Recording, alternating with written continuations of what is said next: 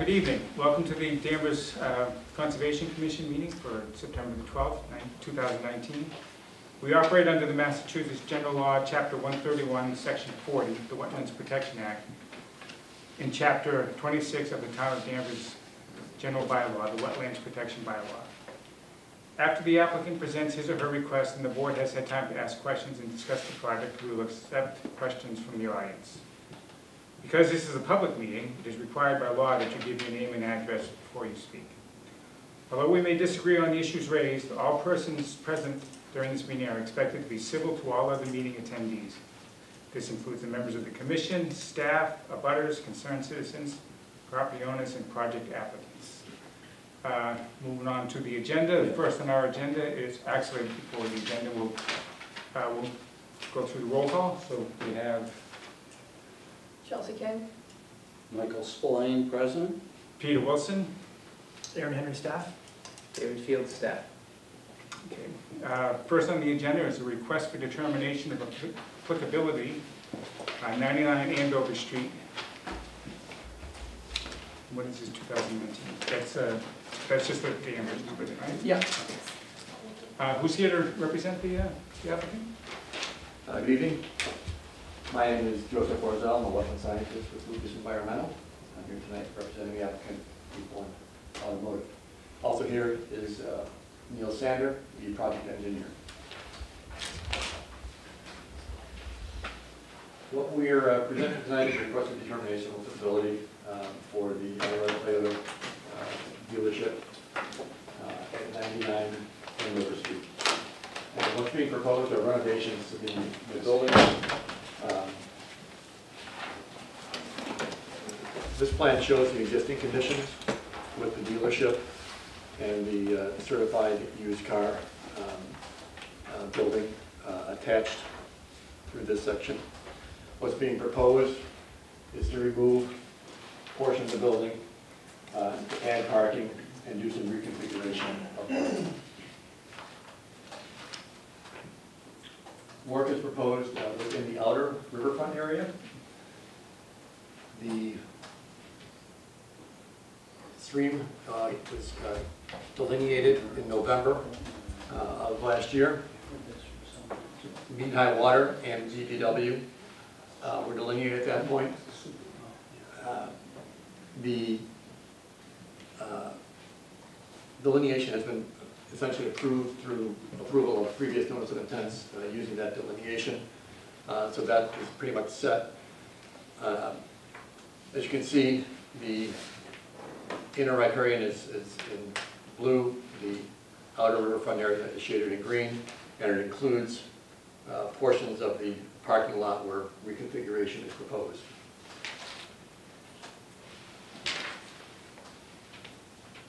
There will be uh, a loss of 41 square feet of pervious, or an increase in in 41 square feet of impervious within the outer riverfront area. However, that's due to reconfiguration of the islands. The only pervious area on this, on the site is the islands and the parking, the- the landscape islands, parking islands. Um, Because it's all pretty much. It's all, it's all paved, it's all hot top, it's all building, right. Um, However, just outside the riverfront area, there would be an increase in over 3,400 square feet of pervious. How's that done? Uh, That's because this area, which is currently part of the building here, will now be landscaped, become pervious. So overall, there would be a- an an increase in pervious area, although that increase occurs just outside the 200-foot riverfront area. Yeah. And the actual loss within the riverfront area is only 41 square feet from within a parking So we're lot. losing forty-one within the two hundred or the hundred? Within the 200. And No, gaining, no, and gaining over 3,400 just outside the 200. Is the green shaded area behind you, uh, Andrew, Yep, yep. is that the 200-foot line? That is the 200-foot line. So you're just barely touching on that, in that upper right corner of the building? Correct, right in this area here. No, top. Oh, no, we're not, this, this here was part of the previously approved Subaru NOI. Our entire limit of disturbance is here. Uh, In fact, the majority of this island here is staying. This is current green space in Okay, the riverfront that's- area. Okay. Yeah. Where's the, the proposed uh, Subaru one from there? It's further up there. Further They were Yeah. before us recently. Yes, Yeah. yeah.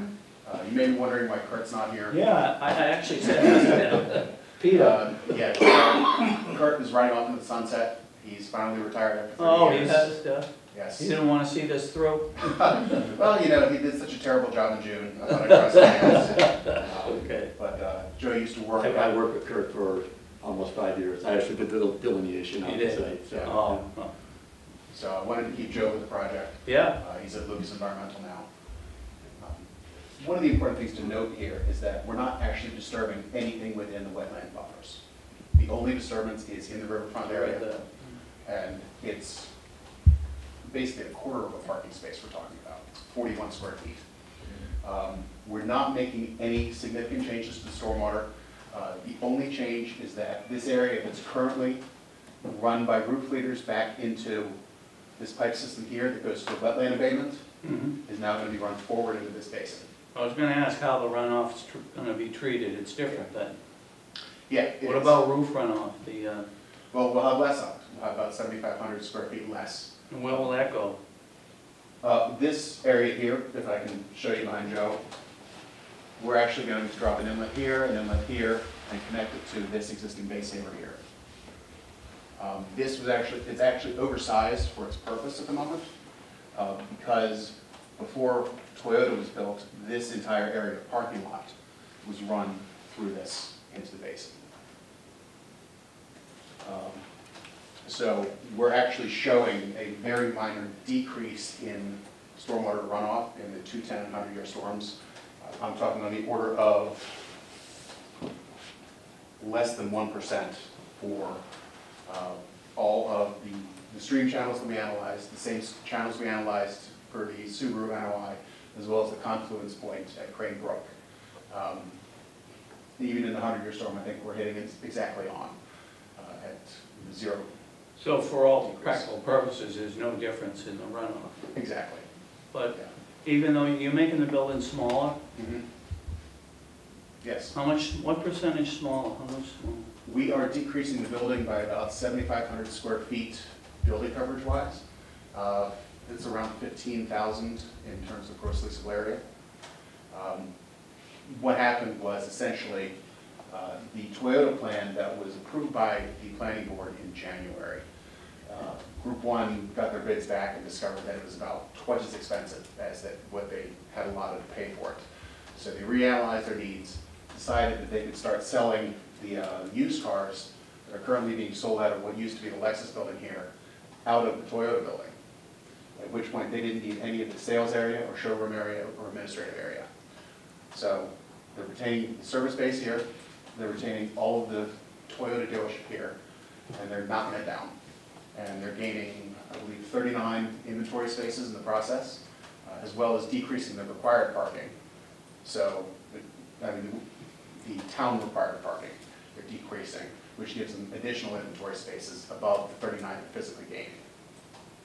If you're decreasing parking, why is there more hot, it's going to be hot top replacing the area you, you, you remove the seventy-five hundred square feet is gone, and that's being replaced with hot top. We're increasing parking. I thought you said decreasing. We're decreasing the required parking. By decreasing the floor area of the building, we are required to have fewer parking spaces, but we're increasing the total number. And the differential between what we're required and what we have is what they can use for inventory. So we have 39 new spaces, plus the differential of what they previously required and what they're now required, uh, which gives them, uh, I believe, about 100 additional parking spaces just for inventory on this site. And anyone who's followed this project from the beginning knows that they have inventory behind Lowe's, they have inventory up off Route One in Topsfield. Yeah. Uh, They have brand new inventory lot down Pine Alley, they just cannot find enough spaces to put cars. So knocking down a building, and replacing it with parking spaces makes financial sense. Is this a complete demolition and rebuild? Uh, Or just there's, you know, re- demolishing that, that little section in between? Yeah. There's no rebuild. All they're gonna do is establish a new facade on the side of the service building here. So they're just demolishing that connecting piece? Yes, How long do you think this project will take? I'd say no more than six months. And that new area, I know it's outside of Bar Buffer, but that area that's being, like, being planted, um, what are you proposing to put there? Right now, we're showing four new trees, uh, a little area of small shrubs near the entrance to the Toyota drop-off, and the rest will be lawn. Do you think this is gonna change snow management at all, dumping on the road? No, None of, none of our snow storage areas are in the vicinity of the Toyota building. Uh, The closest one is here behind Lexus. There's another one up here adjacent to Subaru, Right. and one up here in the middle of the site. Is the Subaru portion under construction? No, um, I believe they, if they haven't pulled the building permit, they will soon. I know they filed for it. I believe the contract is being awarded this week. Obviously, they want to start as soon as possible, maybe they can get in a closed envelope before Thanksgiving. Will these projects go on simultaneously? I don't know. A lot of pins there. And will there be any, uh, I hate to use the word erosion because there's nothing to erode, but Yeah. just uh, something to contain the runoff, you know, with any kind of demolition materials? Yeah, uh, I mean, we are proposing silt fence around the entire limit of disturbance. Um, Effectively, this area here is currently going to be, or it's going to be unusable for customers while it's under construction. Um, So they'll establish it with silt fence, or, I'm sorry, straw walls uh, around the perimeter, as well as construction fence to keep people out. Um, Where, uh, I believe I've located a topsoil stockpile here on the site, I don't recall off the top of my head. Um, But, uh, you know, staging is generally meets that this question. Again, but you are providing for it? Yes, yeah. Uh, We'll also be providing silt sacks in the existing inlets as well as the two new ones.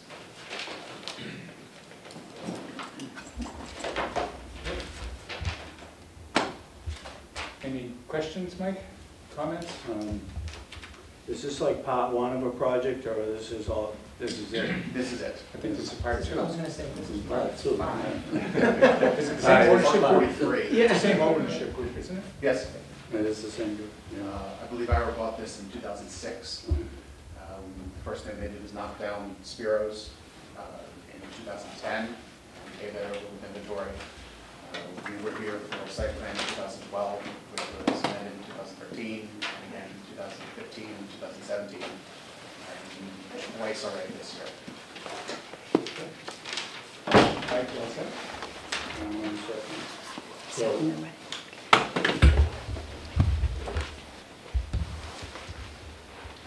Are we looking for a finding that's, Looking for no, well, really non-applicability, right? Yeah. And uh, any, any specific conditions, um, other than what we talked about, the- the wattles? um, Anybody need to have, need to have anyone on site? I don't think so. No. We're gonna be monitoring the super. Yeah, 'cause that- that's an order of conditions of the project. Yeah. Yeah. We All right, have, I- uh, maybe of the trees that are planted to be native trees? Yeah, what are you planting? We haven't talked about that. We're specifying lindens and birches, Yeah, um, well, throughout the entire project area. Only four of these trees will be in the riverfront area per se, um, but uh, we have three birches here and 10 lindens uh, around that area. This is actually an existing tree. So 13 total trees, 162 new shrubs. um, I'll make a motion that we make a Hold on a finding. Second, Mike. Uh, Chelsea, do you have any questions? No, or should we open it up? You wanna open, does anyone out here wanna weigh in on this? Uh, including the people that just came in. um, Are you interested, the people that just came in, are you interested in the ninety-nine Andover Street project? No. Toyota, no. Anyone else? No? All right, then. I'll entertain a motion, then, Mike. All right, I'll make a motion that we make a finding of determination of non-applicability, that is that um, the, the proposed uh, project submitted uh, under, what's the number on this? It's a- it's a Danvers number.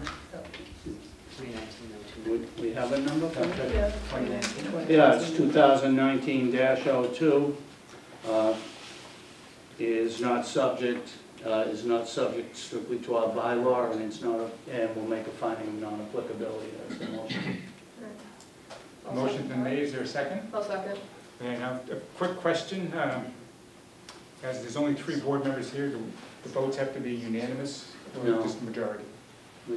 We actually discussed this today. Uh, The Wetlands Protection Act allows for a majority vote of the quorum present. Exactly. We- we That's dealt with not this issue permissible in previously. other, on, in other situations, that's, that's not okay on the planning board side, but on the Concom side, it's a majority of the quorum present. Well, isn't it always, I mean, if we're having the discussion, uh, we have, we have, we're a five-member board, the quorum is three. Um, Yeah, but it, it's just a curiosity in, in Massachusetts that we have case law on planning boards that it has to be a majority of the membership, not necessarily of the quorum. yeah. But on Concom, the I know, it's funny, we act researched this several that. years ago on that, um, the project by the Agway. Uh, were you there then, Peter? No. When the Boy Scouts put the bridge over, uh, Oh, I do remember, I was. yeah, yeah, and there was that, we So found out. you guys, a two to one Yeah. vote prevails. The reason I I- I- ask. Go ahead, no, a majority would carry. Erin used to always say that it had to be uh, unanimous, when we just had three. So that, that's, that's why I asked that question. So maybe she was wrong. But I didn't agree with that. And I think, I think, given her zoning background, she's not wrong on, under forty A, under No, forty A, that But is correct. Under the Wetland Alright, Protection well, Act, it alright. not the same. I get, okay, so we've decided we, So a two to one So a two vote to will one will prevail, work. is, will work. Okay, hearing a motion and a second, uh, all in favor? I thought you were gonna vote against it. Well, maybe we could discuss this at the close of the meeting a little further too, is. Yep. Yeah. Okay, guys, good luck. Thank you very much. You all set, sir? The next up is uh, One Carroll Way, DEP file number 14-1302. Um, Who's here to represent the applicant? Good evening, Mr. Chair, members of the commission, staff. Uh, For the record, my name is Scott Cameron. I'm with the Morin-Cameron Group. And I am here tonight on behalf of Peter Demulius to request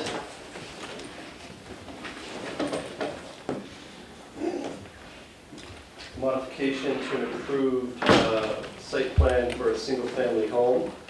Uh, The initial permit was issued in 2017, and they bring that plan with me. At the time, uh, Peter was in the picture.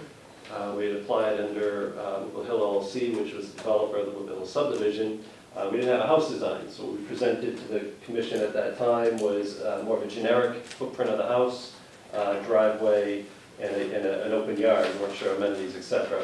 Um, The plan did feature a foundation drain discharge on the plan, I'll note, uh, did feature uh, a grass slope here, a three to one. Um, And then this is the lot in particular that we have an underground drainage system associated with the road in the back of the property. Uh, This is not subject to review tonight, this is on a separate permit associated with the road. So what we're looking really is the envelope of the house.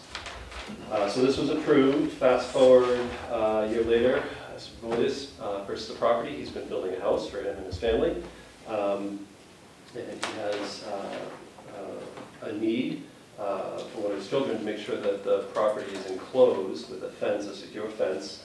Uh, And that started to prompt the the conversation coming to modify the plans, in addition to adding some other amenities to the property. So uh, to back up, uh, when we do these subdivision projects, the design is always encompassing anticipated build-out fill lots. Uh, So from a stormwater perspective, to check that off. We don't assume uh, just the house and a driveway, we actually engineer in anticipating that people are gonna put pools and play sets and sheds and other patios and things on the property. On this particular lot, we anticipated that about twelve thousand square feet of lot would be uh, some sort of impervious surface, house, driveway, all that stuff. Uh, And currently with this design, we're at about six thousand square feet of impervious coverage, so it's, it's half of what we anticipated. So the stormwater has been designed as part of the overall project to account for this. Uh, What are we requesting to amend? Uh, In this case, uh, we are updating, uh, the house is almost built. Um, We have, they have been operating under the prior permit, so we updated the footprint of the house to the actual. Where we built it was actually seven feet further away from the wetland, so it got pulled away in a slightly smaller footprint. Um, and They adjusted the slope in this area to a rock slope to just try and square up the yard a little bit. They did not change the limit of work, so it's the same limit of work. Can you show the well in there? The wetland is in the green, and your twenty-five no disturb is in the purple, and then the thirty-five no structure is the brown here. So you see, they, they held the limit of work at the twenty-five foot no disturb, that has not changed, we're not requesting any modification to that. Everything is just inboard of that, away from the wetland. How far away did it get pulled? Seven feet, it was thirty-eight feet initially, and we, it got moved back to forty-five. The house size got Construction. increased, It actually decreased slightly, did? more, more efficient, yeah. Scott, do you have an overview of the whole Carroll Way arrangement? I didn't, I didn't bring the whole subdivision with me. I wasn't uh, planning to get into that tonight, but do you have a particular question about the overall? I'm just trying to orientate myself. Yep, I'll pull it Um. Sandpiper is here. You have one house at the corner, Sandpiper and Carroll. This is the second house Carroll, so it's over the, Okay. the bridge? before it. The bridge is right here. You can start to see the the Okay. guardrails. All right, The so now I'm crossing is getting here. idea, yeah. Okay, that's a good, And that's good the, recall. So this I'm is sorry, one yeah. Carroll Way. This is the first house on Carroll Way on the can you right. just go over the, the distance from the wetlands again, please? Yep, initially approved at 38 feet to that point in the house. And where it was uh, built was 45 feet, so it was pulled further away from the wetland. Okay. Okay. And this stone wall, the, the roof rack? It's more like a, they, there was large boulders that they use that, that had come out of the site, and they used those to build a slope here along this edge. And it's, it's short, it's only five, six feet, and it's more sloped. And is that built already? It's built, yeah, everything, And everything's was that built. incorporated in the original order It, conditions? it wasn't part of it. So, and it already did it though, without It's just coming done. back? Yeah, and keep in mind too, this was, this is at a point in time when we were presenting these things, and, the- and these changes were, you know, accessory to a residential house lot, so we would typically go through and they would, they would build them uh, incidental, you know, normal residential house lot purposes. Recently, in the, in the past year or so, we've started adjusting the policy on that uh, to come in and try to get these changes accounted for and modified permits. We're accounting for that now, although it is after the fact by the. Are you saying that in the future you'll come in before you make the Yeah, change? new- Is yes, that- Is yes. that what I'm hearing? It's, it's just, it's a new thing, we're trying to get caught up, but we've got all these It's a lots, new thing. well, we've, uh, I go with how we're, we're directed, so we've got these new lot, these lots that are under construction, These- this has been built for quite a while. you know. And this, this wall, whatever we want to call it, this embankment? Yep. Goes right up to the twenty-five foot line? Yep. What was, what was proposed before? It would just been a grass lawn down. So was that built up? It was just, yeah, just, a- so now it's just, a- it's just a barrier, so instead of a lawn that could creep, this is Yeah, just a but what barrier. some, what changed? You tried to level out some. Yeah, level the yard a little bit, So you know, you this cut into that and pulled away and you put a stone wall in? yeah, it's not so much a wall, it's just a, it's a slope. Do you have So- any pictures? Hmm? Do you have any pictures? I didn't bring. Have any pictures? You might even have someone that's calling, but. Well, let me get the rest of the changes and then we can go Okay. through any questions. Um, So the other proposed modification is adding a pool in this area, and we set that, the orange line is your hundred foot buffer zone, so they pulled that as far to the right of the property as they could. Uh, They're proposing to install a combination of vinyl, which is this pink, and then it transitions to chain link through the town easement, and then back to vinyl around it. Chain link through the easement and then vinyl, and this is just a requirement by the town Did you have to engineer. enclose for the pool? Eh, Well, there's a separate fence for the pool enclosure. This is enclosure for the, the safety of his, uh, he has a child that needs, needs to be, to be. Yeah, he's, he's deaf and he has sensory issues, so I gotta make sure there's a. Yeah. Yeah, So it's a safety concern, just someone wandering and, and Yeah. getting, getting in trouble. Um, Two sheds, which I highlighted here, one just to make, you know, for yard maintenance lawnmowers, and then the pool shed here. What's the lot size?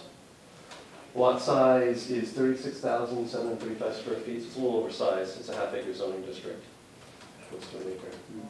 Now, the, uh, the town's easement and that that drainage system, mm-hmm. that's all underground? It's all underground, correct? So that is just lawn there? It's lawn, yep. Yep, the one that's seated. That's, you see the easement again, that- that's. That's that- that's the- that red. It's the kinda like wall a- doesn't interfere with that? No, yeah, the fence will be set just inside the stone wall, Yeah. so, yeah, they, they wouldn't touch the boundary. boundary wall. Is the change to the fence material, is that today we've decided that? It, it had been noted, it was noted on the plan, it wasn't clear. Uh, the notes are there, chain link fence, that's why highlighted in yellow. I did, I did stop by, uh, Mr. King's office today, he wasn't in. Uh, but I talked to, uh, Eric Richard, who's another one of the engineers in the office who's familiar with this. And, um, So this is before the easement was covered over with, with Lou?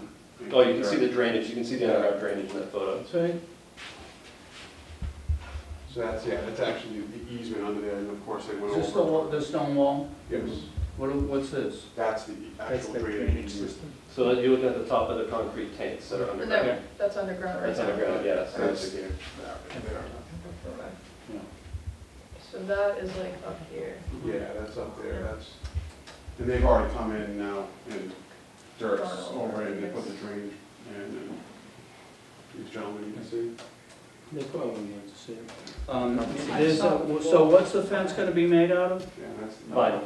But isn't there a note here, the town will not? So I think what they're trying to do is, it'll be vinyl where it's theirs, where the easement and access is, it's gonna be changed. Chain link, correct, yeah. So where it crosses the easement is here, because the actual access from Carroll comes up on lot 20, which is this lot, and then it comes into lot 19 here. So that point will be chain linked as a gate, and then this will be chain link where it kind of cuts across the corner.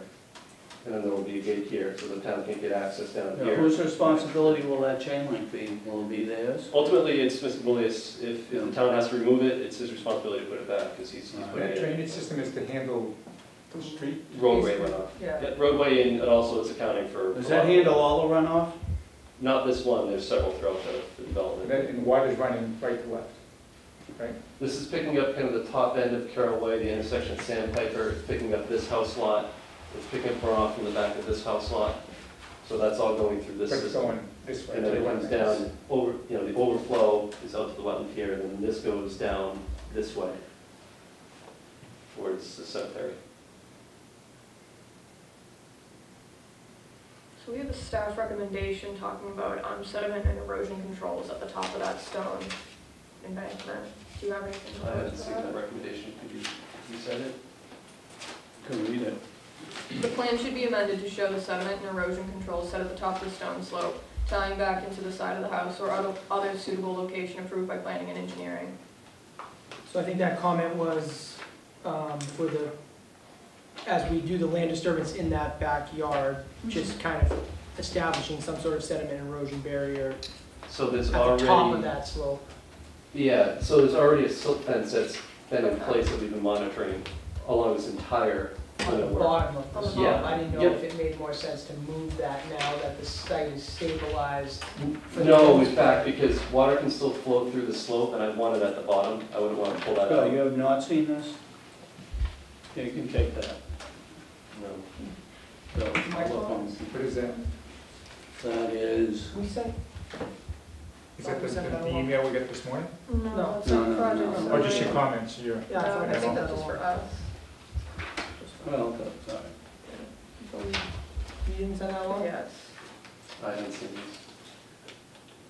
And then it says we've yet to receive comments from DP, DPW's engineering division. Is that, Those came in today, we Mhm. passed those along. you Okay. discussed the, It's this way. okay, so, Can you say to keep that?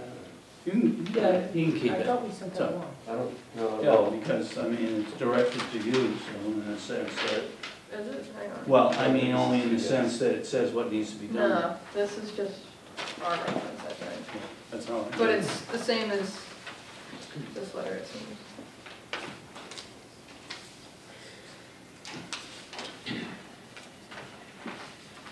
Um, I did receive comments this morning, I did have, again, I, I went down to try and catch the town engineer, I caught the assistant town engineer, I provided information for them, I can go through these comments with you, All right, uh, let's, if you like. Yeah. Um, The first comment is, will the house have a sump pump?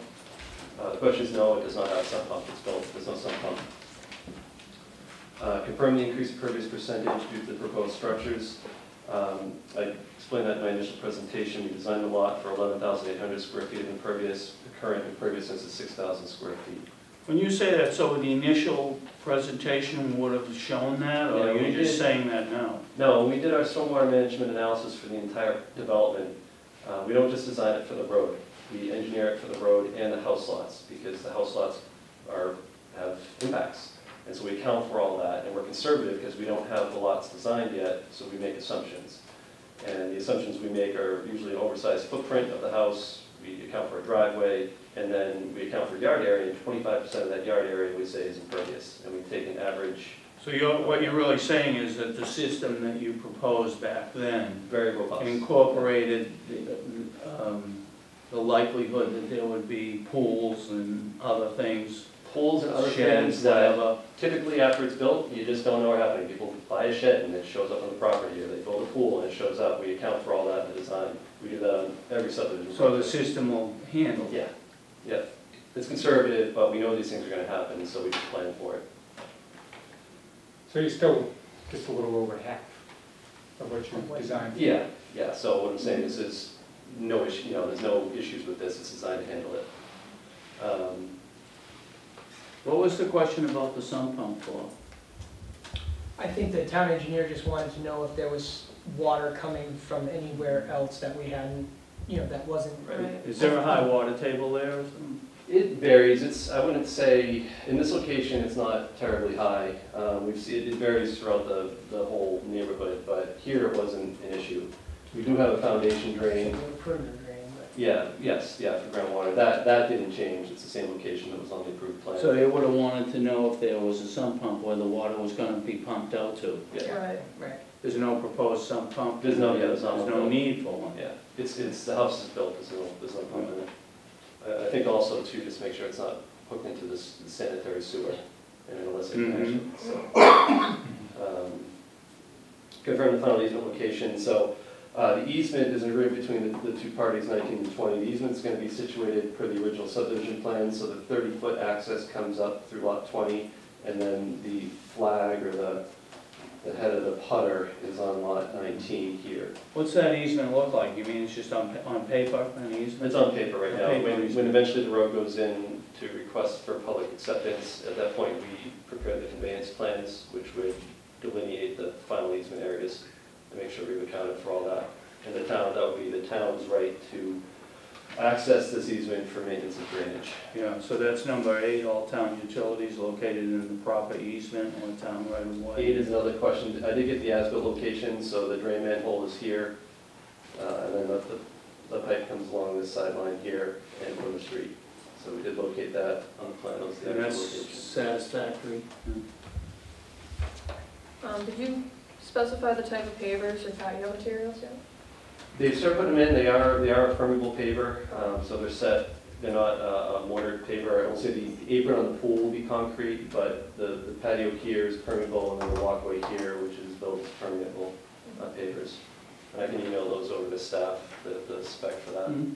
Again, I just got these today, so I didn't have Right. Yeah. a chance to really address anything, but I didn't see anything here that was, um, you know, necessitated a lot of heavy lifting.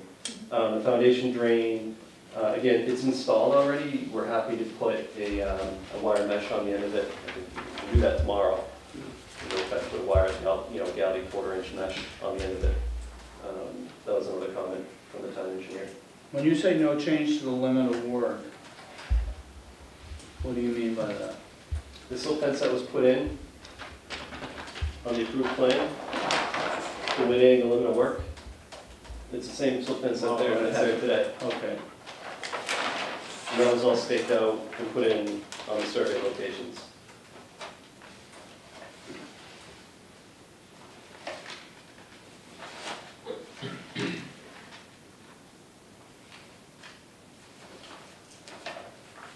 Any other questions, Mike?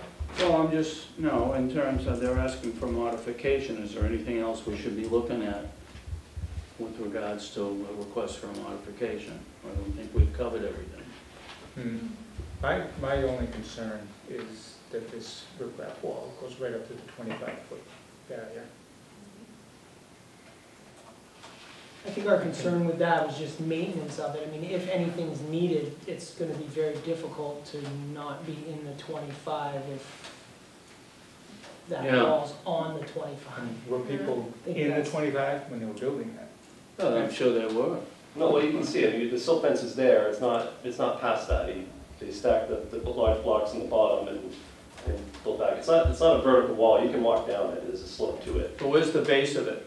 It, the, the, the bottom blocks are right, right along the silt fence that was staked out, which is just in board of the So, twenty-five. and the top of it, so, I mean, is the base wider so that if you looked at the inside of the Hon- wall? Honestly, yeah, the depth of it is about the same as a three to one slope, maybe it's a little tighter, I'd say it's probably like a two to one slope.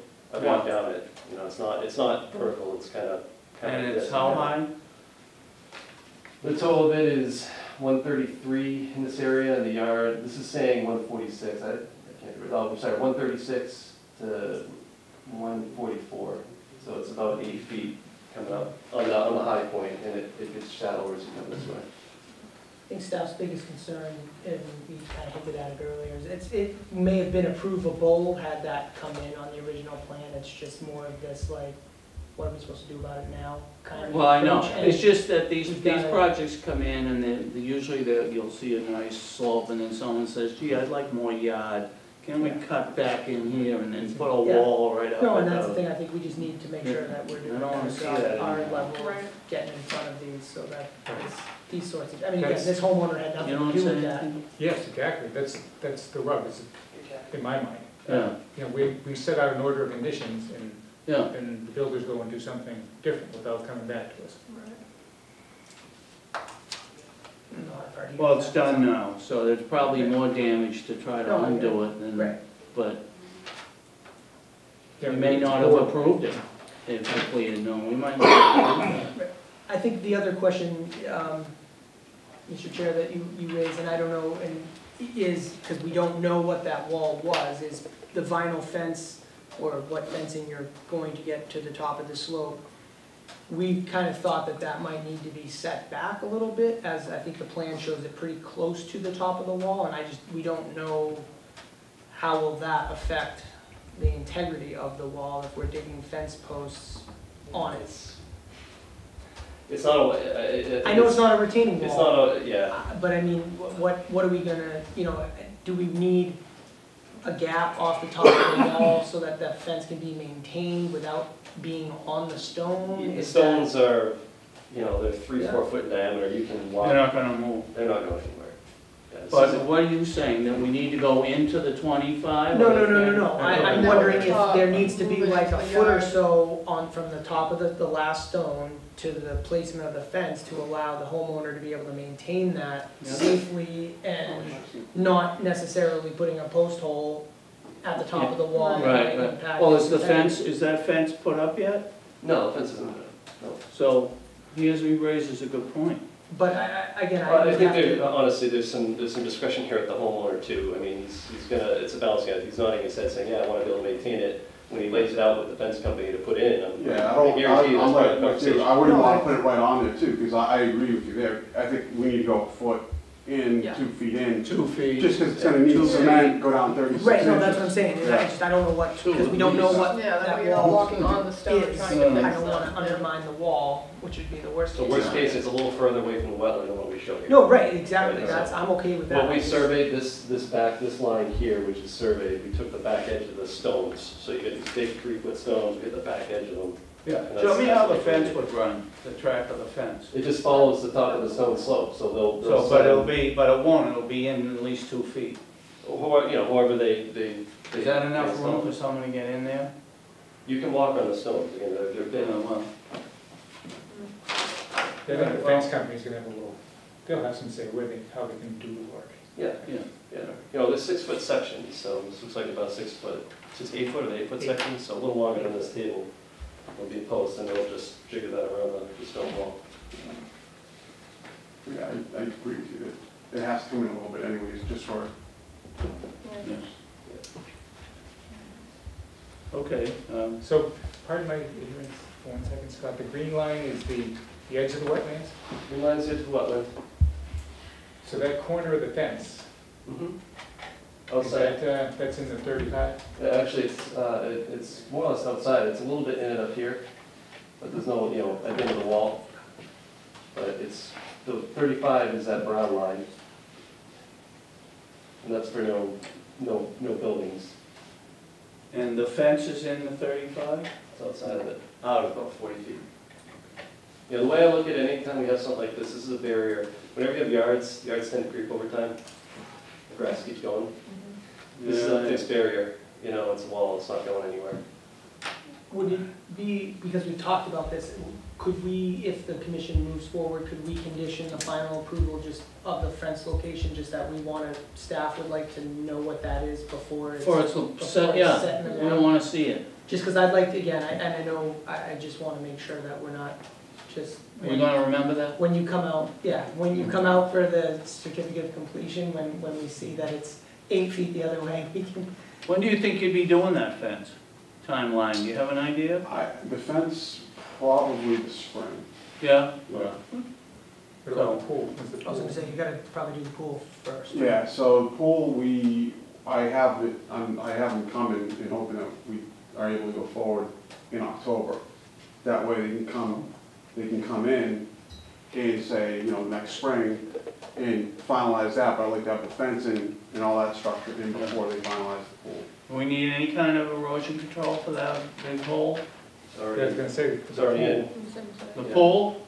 It, well, it's all uh, being picked up by the same. Yeah, this, this particular lot, we've had no issues at Really? this, at this area. It's one, because for all the constructions, it's had a big hole in the ground here. We've been directing all the water here. So we've had no issues Oh, I with this see. lot. It's been very stable. Even, even when this was open and they were excavating it, we've, it's been, Yeah. um, it's been pretty easy. But the pool is, will be covered within the, the order of conditions that were. Okay. And this is the plan, just to be clear. If the commission approves this plan, this is the plan. Don't, You heard it, if you need to change it, talk to us first. Trust me, we've, we've had multiple meetings, multiple conversations over it, and this is the best way we could come up with, with everybody trying to win. So the So- essence So you guys know too, I, I've reached out to as many builders and homeowners and developers as I could with active house lots going on, and I've, I've let them all know. It's, it's good for business for me, I get to come in with applications and they gotta hire me or somebody else, but frankly, you know, a lot of these things are under construction, so we're trying to keep tabs on them, I'm trying to bring them into you guys. Um, We get some as-bills coming in for the next meeting, we'll be talking about, so. so the essence of the modification, just to sum it up.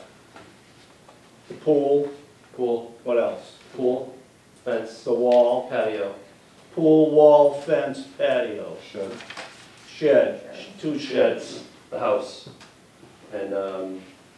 The change in the house is, is slightly smaller footprint, Yeah. pulled back. Pull back away, right, and then the grading, the grading, the wall, you know, Most of wall that is slope, within the. call it. Yeah. Okay.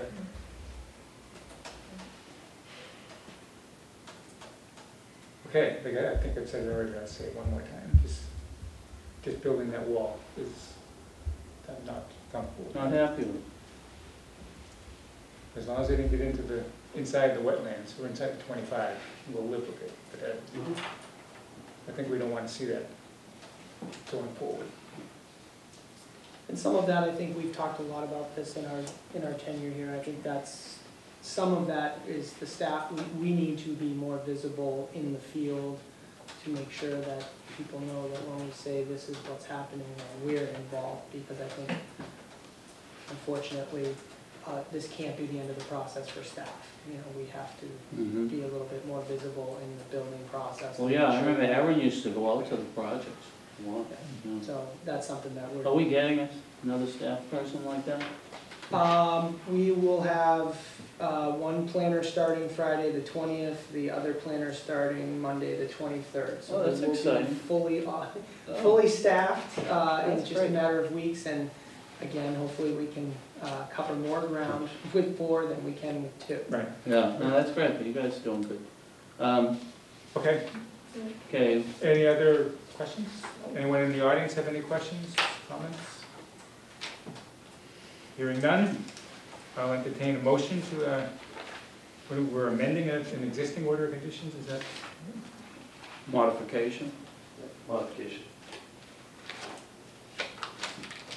you wanna do it? Sure. All right. So I'll want a Motion approve, to approve a modification. yeah, I'll approve a modification to an order of conditions for, uh, One Carroll Way, DEP file number one four dash one three zero two. Which incorporates. which will incorporate a pool, sheds, patios, and a rock slope and And- fencing. And Okay. then And other The existing, uh, location any of other the fence will additional- be, uh, can we add to the motion, your motion, that the, the The fence locating of the fence Moved be away, approved by staff Oh, yeah. prior to the installation? yes. uh, Approved or confirmed, or how do we, what- what's the correct word? Well, there? Again, our I- concern is we just we want- want it to be off there so. I we say can- approved, but Okay, that- we'll take approved. All right, approved. what's wrong? I mean, we kind of talked about it a Just couple of someone feet. Hey. You're the we're attorney, so- We're the board. I like approved. Is that the only additional uh, condition that we wanted to add? I think so. Uh, Yeah, I mean, yeah. Everything I mean, else is just everything's confirming. Good, I, I like, I like what you're doing. Okay, Yeah. uh, so the motion's Except for made. that wall. Well, that wasn't his fault, that that wasn't his fault. That was there before you started building? Uh, it was kind of then, I sh- I showed up one day and, so, it's there. It looks good, it Ah, well, good. motion, um, So we need a second. motion, Motion's been made, so we're looking for a second. you're asking for a second, I'll second the motion. All in favor? Aye. Aye. Opposed? None. Okay, good. Good luck to you. Good luck. Appreciate Thank you. Okay, um, how are we gonna handle this now, Aaron? Are you gonna, all of these can be discussed together? Yeah, I think it's a little easier to handle it all together. Um, I think as we get into the individual house lots, we do have some comments on the individual house lots, but I think it's better to just go right into all four, open all four. But in and then- terms of certificates of compliance, I thought they're all gonna be separate. Yeah, yeah, yeah, yeah, but just for the point of discussion, I think there's some issues that, Questions on that? But That's, that's down the road. I prefer to take them one at a time, Well, they are, we are. That's what the right road here. These are the only three that are applicable to us, right? We have jurisdiction. you should have four, you have, But one is for the road. isn't it? yeah, one is for the road, and then the three house lots. Right. Okay. Um, Okay, third on our agenda is a notice of intent. Um, We have comments on this today? I think we were coming to the same from the previous meeting. Yeah, previous staff memo. Previous. In Uh, here? Yeah. Uh, For 303, 309, 305R, 313R, 315, 317, 325, 327, 333, and 333R Maple Street. DEP file number 14-1330. And who's here to represent the applicant? Good evening, Mr. Chair, uh, recommending Scott Cameron from Morin-Cameron Group, 66 Elm Street, Danvers. On behalf of Beaverbrook Woods LLC, uh, John Colantoni, the manager of Beaverbrook Woods LLC, is also here uh, as the applicant. And we're here to present to you a uh, proposed definitive subdivision uh, development with uh, eight single, creating eight single-family homes. Uh, In your packets, you would have received a set of plans. I gave you the full subdivision plan set. And also, you should receive the notice of intent application, which had in it uh, technical narrative, um, from the wetland scientist. Rick Kirby is on his way from LEC Environmental, we met uh, uh, previously, and uh, he's coming for another hearing, so he'll be here shortly. And um, also, I included the drainage report that was filed as part of the subdivision process, so that should all be in your packet. And I'll do, I'll walk you through uh, the first few plans here. Um, And I'll start with an existing conditions plan. And this has been a project that has been uh, percolating for uh, close to three years now. And it started with uh, 305R uh, Maple Street, which is this parcel here. And over a series of conversations with uh, residents in the neighborhood, uh, uh, assimilated uh, these properties all the way down uh, to here, to this point. So in total, there's nine properties that are part of this application, that's why you had a lengthy uh, list to read off in the legal ad. And what the development entails is the, the rear portions of all of these lots uh, are in excess of what, what they need for zoning. And so they have, we're aggregating all this land into subdivision project. I've highlighted in purple kind of two sides of it. This piece here is owned by the town of Danvers. This is really the development area, uh, and the road will end up coming in this, this section. Um, Existing single-family homes along the street frontage, you have a two-family here at 327, you have a four-family at 303 to 309. Everything else is single families. What's remaining, uh, on all those properties remaining? All those, pro- yeah, so all remain uh, with 20,000 square feet of land, uh, more regular shape than what they are now, because they're so long and narrow, they, they aren't regular shape. Uh, the two-family will remain with thirty thousand square feet, and the four-family with greater than forty, uh, which is required by zoning, because they're a higher density.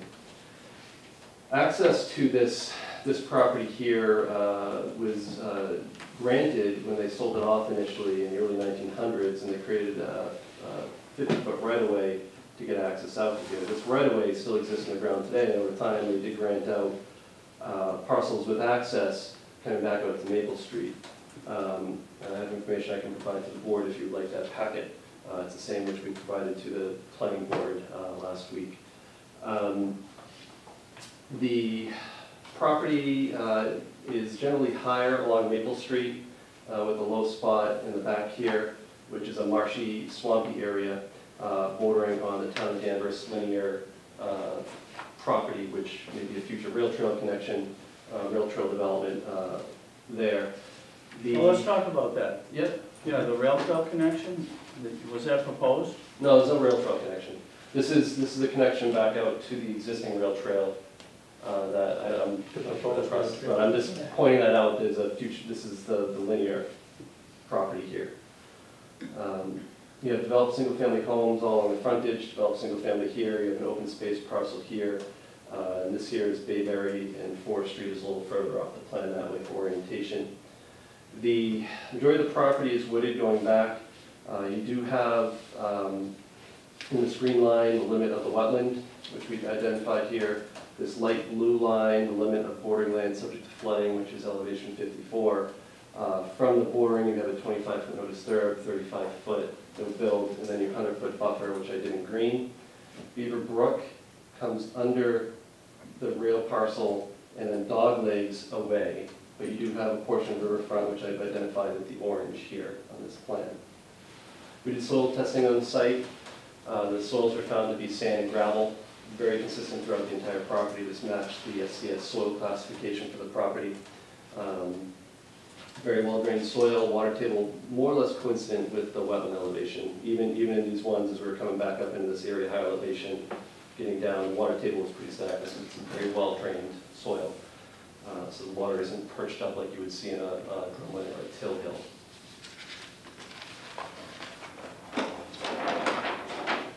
Development plans for the road include a curb cut off of Maple Street, uh, eliminating the driveway for 333, which will be rerouted off of the new road, and then extending down to the property. I highlighted, I colored in mainly the areas that are in the buffer zone coming back here, so that green dashed line is the 100-foot buffer. Yeah. So as the road comes in, it turns to the right, There's people in the back. on- on. Can you see back there? Do you want to You move? wanna move up to the front? Does anyone wanna move up? No? Good. Um, As you come in around, um, know, what we're utilizing as we cross over the town of Danvers parcel is the existing right-of-way here. We have the right to use that. It comes across, and then we further that road up into this area and turn around. So the area of impact uh, that we're here for tonight is between here and here. And what's occurring in that, well, we're constructing the road, we're constructing some stormwater management, stormwater usually finds its way to the lower spots, and that's why it's oftentimes in your jurisdiction. There's a surface retention pond here, which will collect stormwater. and You're gonna create one? Create one. And there will be a subsurface system here, very similar to the pictures you just saw in the prior application, underground concrete tanks. The concrete? Yep, concrete. Where's the town lot? This is the town lot. Right there. here. Are you doing anything to that other than improving the road? Just improving the right-of-way that's there now. Yeah, and the, and planning board was satisfied that the right of way existed? They granted approval on Tuesday Yeah, for it. Yeah. You can explain when we have Yeah, when- let's not finish the presentation. All right, So what are we requesting from you? We're requesting construction of the road, but because of the fixed point of this right-of-way that we have to utilize, what's happened is we come down and we actually deflect into the, the wetland in this area, I've highlighted that in orange. There's a small portion of alteration in that area, 830 square feet, and then some temporary alteration just outside of it that we would restore in place. Obviously, that work would occur within the 25-foot no disturb, and what we request from the, the commission in this regard is, is a variance to work within this, this, this zone. But what are we doing to mitigate that? As we come past the, the, this area here, back in this area, we're proposing a rather large replication area. And this area is at more than a two to one ratio of replication, replicated wetland. What's the size? Seventeen hundred and forty square feet compared to eight hundred and thirty square feet of alteration. And I can show you a zoomed in version of that.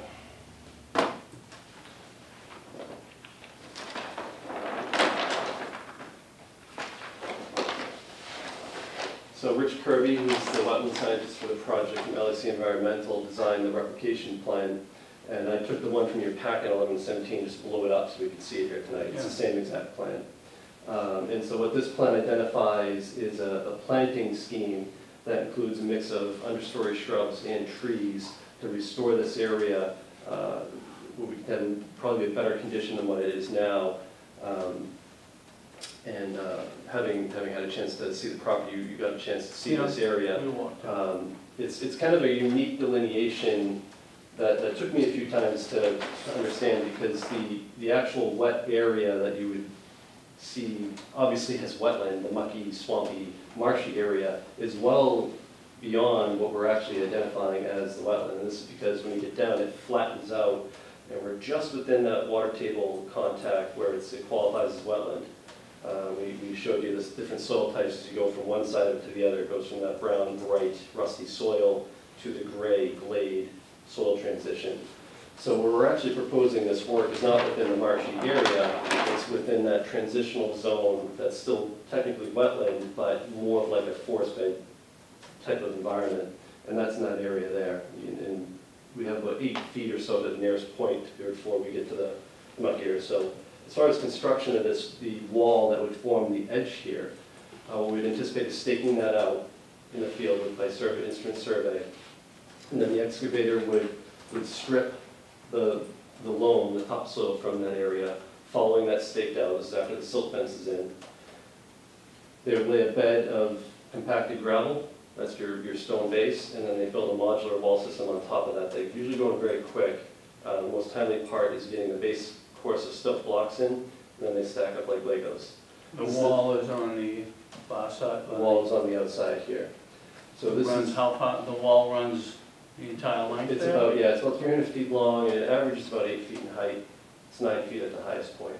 Uh, This is the same wall system that was used on the Whipple Hill subdivision, which had a full wetland crossing over, over a stream. Yeah, And that had actually an arch culvert because we were crossing that stream, but those were sixteen-foot walls that were built by gravity. But the exact same type of system, this one's about eight feet tall and just bounding that edge of the roadway.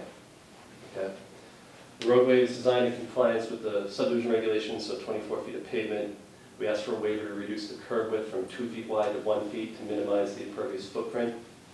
Other waivers we asked for to reduce the impact of the wetland was a waiver on the angle of the road.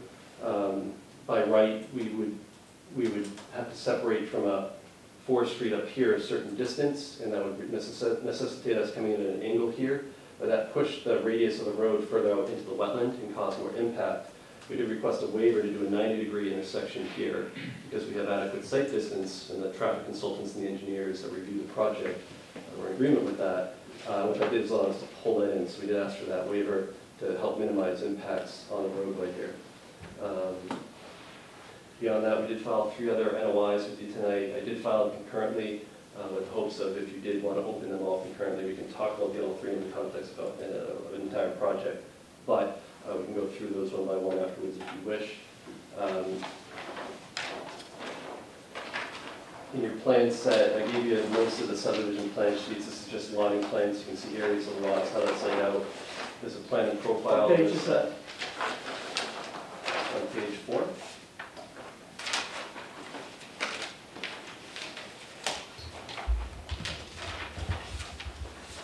It's the same as, as the cover sheet. Yeah. And- and pretty much, Yeah, this, this has your bearings and distances. These are the, how you define the lots. So this is your plan and profile view of the roadway. So this is how the roadway would be constructed vertically. Uh, This profile is exaggerated four times vertically so you can see it. If we drew it at a one-to-one horizontal vertical, you wouldn't see the curve. So the industry standard is to exaggerate that vertically, so it doesn't look, it's not really a roller coaster like this. Maximum slope of the road is eight percent, very flat, one point two five to two point one five percent through this area, this is your wall. The reason we set that point here is the sanitary sewer. We achieved a gravity connection back out to Maple Street here, which was a request of the town engineer instead of doing a pump. Although putting in a pump didn't save us much, uh, because if we lowered it down a foot or two and pumped up, we would still be driven by the, by the stormwater management. So the gravity system flow is toward, toward Maple Street, so it comes down and then it goes out to Maple, all that gravity. So when we're looking at the benefit of trying to lower that road down by two feet in lieu of putting a pump, we always want to try to avoid pumps when it comes to sanitary sewer systems, there's a lot of reasons for yeah, that. and is there any water issues currently on Maple Street in that area? As far as stormwater, Yeah. uh, not that I'm aware of, but, uh, you know, we didn't stu- study the hydrology of Maple because we're not, It's a bit of grade. Yeah, it slopes down, but we're not draining to Maple Street, everything we're taking is coming back and we're, we're managing it in the stormwater systems on the site. Stormwater? Yep. The other retention area is out in the cul-de-sac, that's out of jurisdiction, but we're managing it there. What are we doing? I, I described it fully complies with the stormwater management regulations. So the water will go through a proprietary treatment system, it's called a, a, a, a CDS, uh, unit prepared by Contech Systems. And it's a hydrodynamic, uh, uh, it's basically a catch basin that promotes more uh, hydraulics in the system to filter out and catch more sediment. And it also has a trap for flowable greases and trash. And so you achieve a higher level of treatment than, say, a regular catch basin, which is just passive, water goes in and it goes out, and you put a hood on it and there's a sump, but it's not doing much else. So we're filtering and treating the stormwater before it gets into your recharge system. The recharge systems are also doing treatment as the water recharges through the soil media, which I mentioned is sand and gravel. You're actually getting treatment in that two feet before it gets into the, the parent underlying groundwater, so the soil is doing more treatment. And overall, we exceed the, the TSS removal, total and solids removal requirement. uh, It's way above the eighty percent minimum requirement uh, in treatment in all these areas. So we're getting that treatment. Uh, The discharge for this does go back out towards Beaver Brook in a different direction. Uh, Again, that's all outside the riverfront area. So this is really the area we're, we're, we're focusing on here tonight. Um, The construction details in this set, you'll find utility, utility details, soil testing information is included in here. We-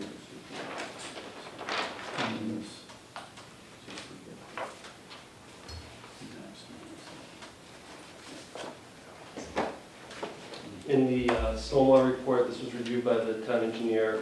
Uh, We we worked with them on uh, making some adjustments to this. Um, But this documents the pre and post development rates of runoff. We are reducing the rate of runoff as required by the policy, uh, providing groundwater recharge, providing treatment. Uh, This report includes the operation and maintenance plan for construction phase and the long term. Um, And then there's an illicit discharge compliance statement in here. So this is our documentation of compliance with the stormwater management handbook. And then the, the cover letter, the technical summary here uh, includes uh, our, our descriptions of basically what was- my presentation here tonight. Um, I do get into riverfront area a little bit in this document, which is more to do with the house lot, so I'll hold off that, that discussion until we get to the house lots. Um, I think that's all I have to the presentation. Okay, before we ask questions, can I turn it over to staff and just give us, uh, fill us in what happened at the planning board meeting on Tuesday?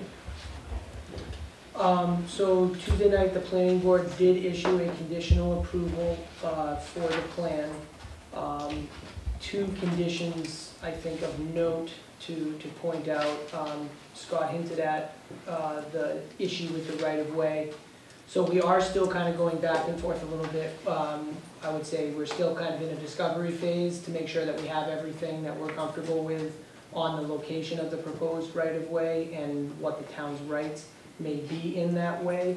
Um, that's really not, uh, that particular issue is probably not of huge concern or of interest to the commission, but it is up to the planning board, so we still have to figure that out, and that could, in theory, have some impact on the proposal, but for the, for tonight, that issue is more of a planning issue. Um, I can go into that in more depth if that's of interest to you, but I, I don't think it's jurisdictional. Um, the second one is the wall itself, while the planning board doesn't necessarily have uh, hand in where it goes, because the easement is more or less where we think it is and where it's located on the plan. The problem that the planning board had with the wall was our rules suggest that you need a structural design for that wall at the time of application. They did not provide that to the planning board, and because the foundation of that wall is so close to the wetland resource, in fact, perhaps It's in in it, um, we just, at staff level, have a lot of concern that the foundation of that wall, we not, we don't have that structural report on that wall yet. So the decision was conditioned that that needs to be determined before construction activity may begin. Wasn't that jurisdictional for us?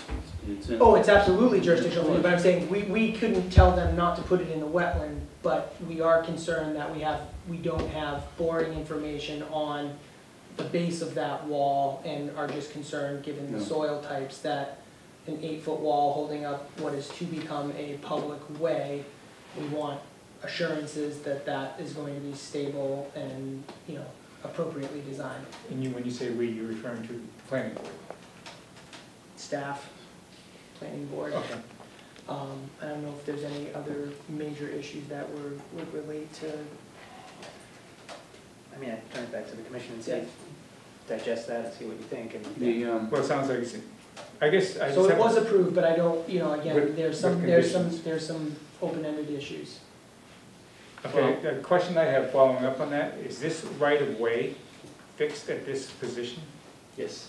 Why is it, why does it have to be in the wetland at all?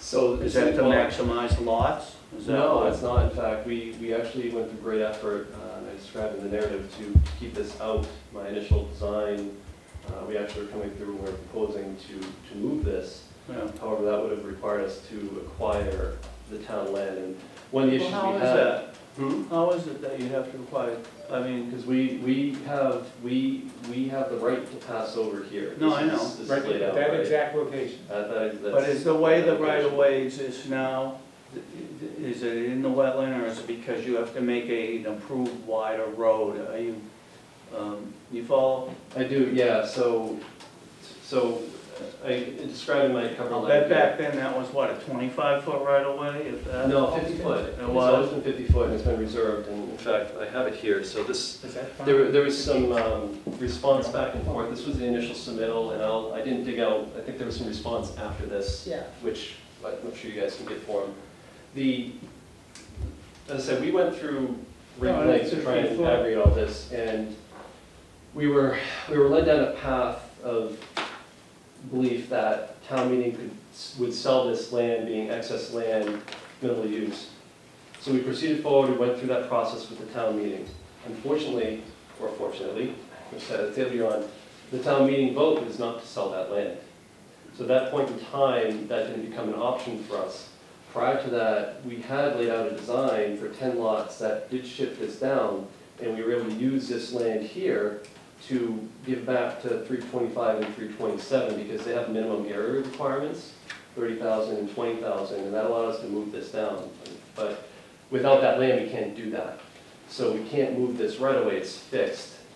And again, as a result, that still wasn't our last effort. We tried, you know, we did go through a process trying to do a cluster. Uh, The developer didn't feel that some Some- conditions would enable him to uh, viably go through a cluster of subdivision, and then we ended up at a conventional subdivision, which is here. That wasn't our last, last ditch effort. We still went through and described and seeking waivers to, to reduce these more. And the big one was changing this to a 90-degree intersection here to minimize these impacts. So I feel we, you know, from my perspective, we have gone through uh, an exhausting exercise over three years to try and, and minimize these impacts. And, and we're here now, we're here at this point. Yeah. Um, I remember being at the town meeting when we discussed this, and there was no mention of a right of way. Right. And I- it it came down to a s- a decision whether we wanted to allow development there or not. And the town meeting voted not. I don't know why the right-of-way wasn't talked about, I wasn't at the town meeting, but um, it's there, it's well documented, I don't think there's any disagreement that the right-of-way is there. Is that, has that documentation been brought forward? Um, we have, what, we have, like I said, I think to Mr. Splain, I think right now, I, I kind of say we're in discovery phase and that Mm. I still think there might be one or two other issues that we need to dig up, but for the most part, staff, I think, including our attorney, uh, Attorney DeLuca, town counsel, we all agree there's a way, there is a paper street out there. I would say that I'm not yet convinced it's exactly in that Yeah. spot. Well, You know I think what? it's at thirty-five degrees, not thirty-six or whatever it is, but we'll figure that out, but I mean, it's o- off only by, it can't be off by much at that point, but. I'm So- sorry, so sorry, if- what, uh, based on, you- your, your determination is based on, I don't get to determine, but I mean, I, reading the deeds that we've been provided, the thirty-five degrees based on the conveyances between nineteen fifteen and nineteen forty, where it says it's two hundred feet from and parallel to the Boston. feet right, The nineteen fifty conveyance Right. describes it on plan with a heading of thirty-six. Well, there's some, but the there's- survey, the survey practices and protocols, which maybe you're not, obviously you're not a surveyor, I'm not, I'm not gonna get into either, Yeah, but no, bearing- that, bearing- that's I know one, for, from my experience that bearings do not always tell the whole story with I'm just saying, surveys. that's, that's a point that we're looking for Right. resolution on, so, but I don't think it affects Mhm. materially much where that crossing is, and it doesn't, we're not contesting that there's not a way out there. It's inch, it's, in- I mean, even It's- if yeah, it's it's gonna be inches, we're inch- talking. gonna be- I There's some a lang, quick there's some language in here that suggests that the right-of-way uh, is being granted in exchange for a new right-of-way that's described in another Yeah, so let's instrument. explain what So- that, what So that we're is talking about, the original right-of-way is not what we're talking about now? Well, yeah, and you're seeing that for the first time, and Yeah, I, I've read, I've read through that many, many times, but what that's talking about is the brief history.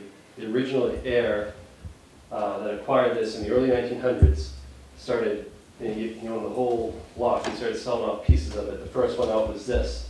When they sold this out, they established a right of way from this point out to Maple Street. And they described it two hundred feet off the, off the linear rail. Then they sold this off, and again, from this point out, same right of way. This point out, he passes away yeah. his wife takes over the estate. His wife starts selling off right away. The first thing she does is she sells off a piece here and puts the right of way all the way back across all the properties. And for all this, they're reserving their rights to this. They, they, the family reserved their rights to use this right away. Then they sold off this last piece. When they sold off that last piece, it came down, they adjusted it. What you just read is the adjustment. They shifted it from here to here. And there's a plan in the back of that that shows that. Okay, That's what that is talking about. so just that portion? Yeah, it was, it was the perpendicular connection here, which talks in, in the description on pins and things that that's referenced to. So what you just read is they agreed to extinguish the point here and shift it over to here. And if you look right in the back of that packet, it shows that plan. Okay, yeah. Hypothetical question. If that right-of-way were to shift closer to Maple Street, does that make a workable road? Cannot. Yeah. I'm pinned with fifty thousand square feet that I need for these two these two lots here. So I cannot, I have it as far this way as I can, and I have it within here. And I'll tell you how close I have it. It's right on this plan. So thirty thousand square feet, right on the dot, twenty thousand one hundred ninety-seven square feet. It's really close. So like I said, I've got this thing pinned as far over as I can get it, and if I don't, I, they don't have buildable lots, they, they wouldn't comply. with Well, that's to satisfy the, of course, and I understand from the developer's point of view, that's to satisfy the maximum number of lots.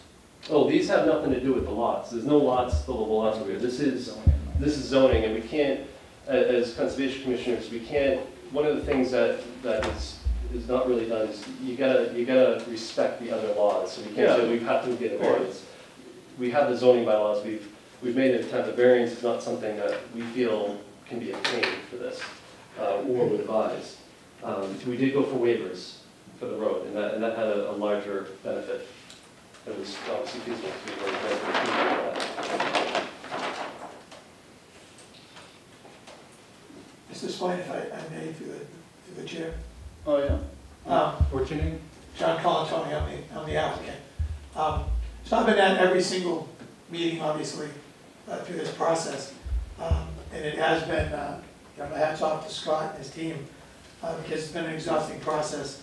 And it's been an exhausting process, I believe, uh, for, for Aaron and Dave, that they've worked on this, and there's a lot of details, obviously, and it's a unique situation.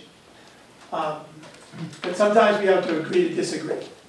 And what I mean by that is, I'm hundred percent certain in my mind that the planning board, with as much time as they spent on it, would not have voted yes on this in the night with those conditions if they sincerely, one hundred percent did not believe, uh, believe that there was a passing over the town property.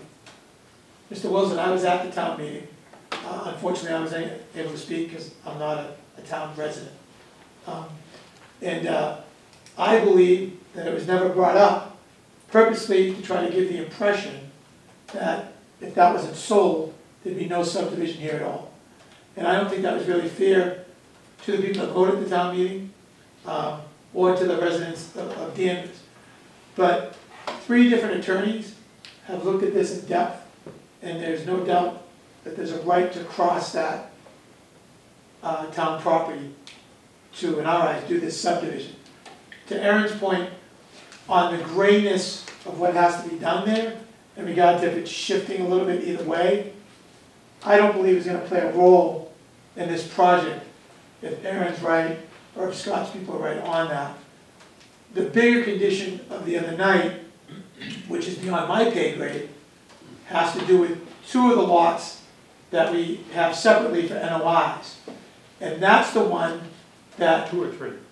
uh, We're talking two of the three. Two of the Two, two, two of the three. Okay. That's the bigger issue that Attorney DeLuca, the town counsel, and uh, Nancy McCann, our attorney, and Scott would be working on, which the planning board gave permission for them to meet in person with the planning staff, not through the planning staff, to get around the same table together, um, to work that out. Um, So the reason I take the few minutes to explain all that is, is because I'd hate to see this commission spend their time on a crossing when that's a done deal. The reason that I'm asking about the crossing and shifting it, because I don't want to go into the wetlands. I'm just looking to shift that road, however Yeah. many feet, towards Maple Street. So you're not infringing on the wetlands. And we're hundred percent with you. I, I would love to not have to come in front of this board, because it's difficult, difficult enough to do the developments, never mind dealing with the wetlands, and you guys have a lot to deal with.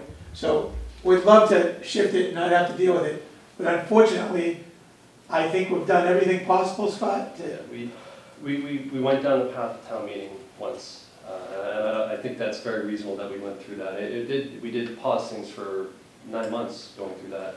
Um, we can't go back to town meeting, that would be the only way to move it, and, and, Where do you say? and, you can go back and, to town? and I don't think it's likely that they would, because they've already said no once. And, But, but the town meeting was not painted the entire picture. but That's that's, not- that's that's not not our our In- In, as I recall, the discussion at town meeting, there were pros and cons of both. I guess what I'm saying is, we have gone through excruciating effort, effort to minimize impacts here. And I, and I feel we've done that. I feel this is a really, really minimal impact, uh, project uh, to where, you know, where it could have gone, um, and where we're at now.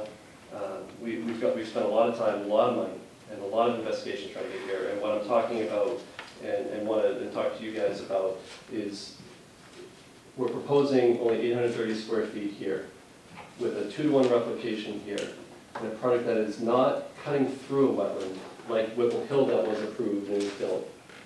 That had tremendously more, that was a fifty-foot right-of-way that went straight through the wetland. We're just on the edge here. And that's all it is. After all this time and all this effort, that's all we're doing. And I know it's there, it's close, and it's not even in the marshy, swampy area, it's not affecting the pond. In fact, we could potentially create more Well, oh, that. you're area. replicating. We're replicating in this, in this footprint, so I feel, and Rich should hopefully be here too, so if you want to have ask any he's technical here. questions. He's here Oh, he's here, okay. So, um, Rich is coming in. Um, so if you have any technical questions about that process and how it's replicated and, and what, what he would be doing. uh, I I think we discussed that in our walkthrough, in Yeah. our site visit. Yeah, so, you know, I think, Where's the twenty-five foot no disturb? so it's, it's right, it's right here. So the road is going Yep. right through it. Yep, I just, I, I really had trouble with this. Yep. if I may, um, I think as part of the analysis, when you're doing a replication area, um, the act asks for an alternatives analysis, and I didn't know, in the narrative, your, your narrative gives the, gives, uh, the impression that the alternatives analysis was trying to buy the property from the town in order to move that easement away from the area. Um, Can you explain a little bit more about, is that, is that the alter, was that the Yeah, alternative? so that, it was, it was where we started, and, and as I was saying, there, there's a portion of land you can see here, that's the town land, so had we acquired that, I could have taken this land, which equates to, you know, it's about fifteen thousand square feet. This, excuse me, one second, is town's property on the other side as well? It, it's, yeah, it's the, it's, it goes from Yeah, here to okay. here, so, but this particular piece, I could have taken this land, and if you can envision, You say you would have used it to increase the square footage on the other lot. Right, Scott? yes, so what I would have done, Put a- and this this is, this is what I did, I took it.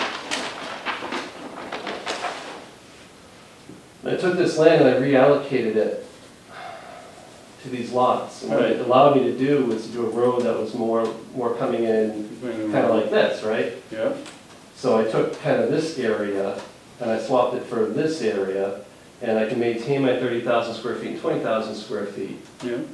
But when, when we were denied the opportunity to do that, what it, what it pushed us to was, well, now we have to exercise the right of the right of way there. We tried, we didn't get it, and now we're here, right? So this, even if, even if the town was, okay, move the right of way, it still doesn't help us because we don't have enough land here. Why not come in off of Maple up there? Why, Up why? where? East. Here?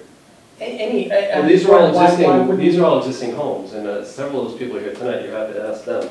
Uh, You have a four-unit condo here, uh, single family, single family, I mean, there's no other place to come in. Someone, Yeah. someone granted you rights to build the road off of Maple Street where it's at. Well, there's an existing right-of-way here. It's there, it's there now.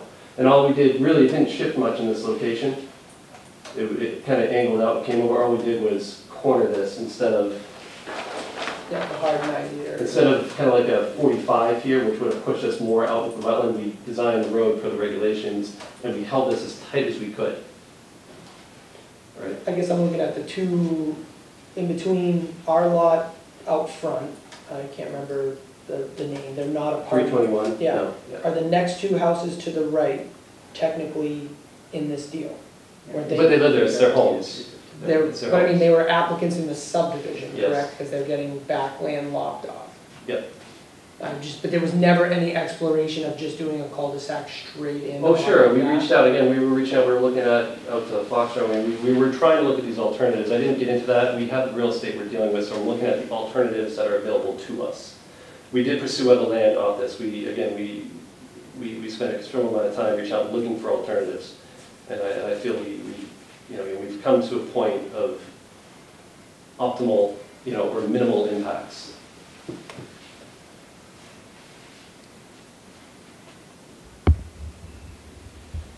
Why didn't the town want to sell the property? It was back and forth, and I think You know, someone got up and made an what's the argument, town says it would, do? uh, it would prevent, I think that's what. And so I think as part of that, as a town meeting member, I said, well, that was kind of shortchanged on information. I mean, if we'd known there was a right of way and that they could develop this anyways, I think they probably would have voted to sell.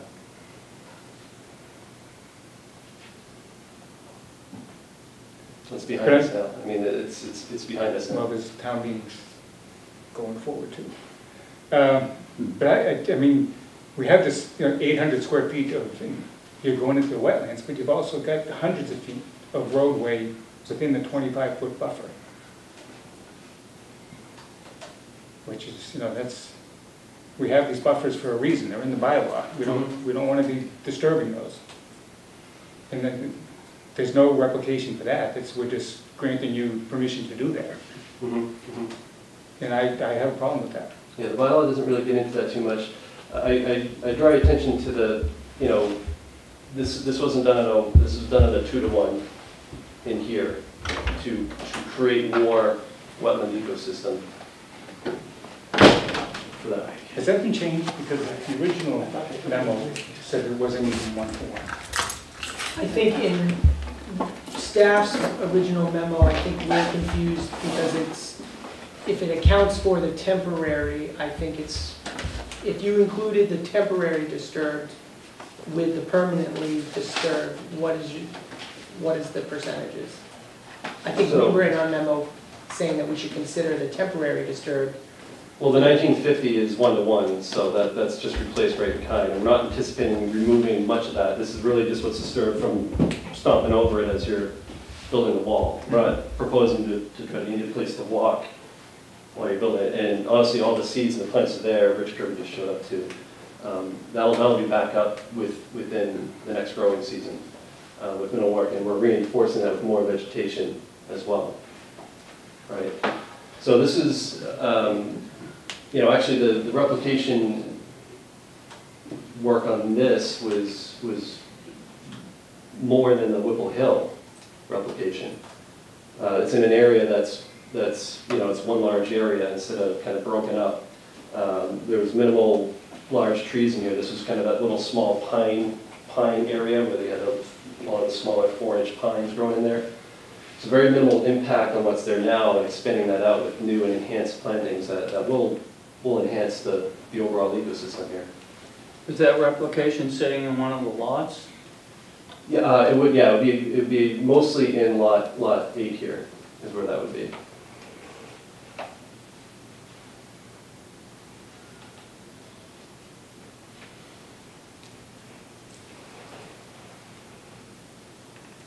Yeah. Mr. Swain, the other thing, and, you know, it has nothing to do with wetlands, but I think it's important, but it's a public hearing, is through this whole process, though there are applicants as part of it, uh, I believe there's nine neighbors involved in this. And with those nine neighbors, there's over two hundred years of residence in Danvers, so it's not like people have just bought a home and only been there a year. So they've been here a long time, and most of them in this neighborhood. Um, and you don't see the sale signs being slapped up because of this project. Um, You know, the little bit that they're getting from this are going, is going back into the neighborhood, it's not like they're planning on leaving, uh, you know, once the deal is done. So I, I think that's an important thing to look at, when you have nine neighbors that have lived here so long, that are for the project, uh, that obviously love Danvers, have been here a long time, and live near these wetlands and these woods, and obviously have a great respect uh, for the area they live in. So I, I think that's also important to keep in mind, and, a lot of them are here, and sometimes the meetings go so long, they, they don't even get a chance Yeah. to, to say anything, so I just, I wanted to point that out. And this is the, essentially, the, the lots are the land that currently owned by these neighbors, that they're willing to Correct. deed that land out for, to create these eight, these new eight lots. And you're suggesting that is overall improvement in the area, is that right? Yeah, I, I think maybe give them a chance to listen to them, because I don't live there, I wanna do the development. um, But certainly it would be easy to do the development if so many people that lived right next to it, no matter if they're an applicant or not, didn't want it, or, or, you know, didn't think it was gonna be better for, for Danvers or their neighborhood.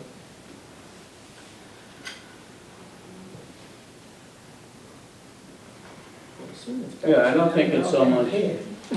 I mean, I don't think it's so much, I didn't say. I didn't, I didn't But catch that's not, that. but that's not a fair statement, Mr. Well, I didn't hear what you said.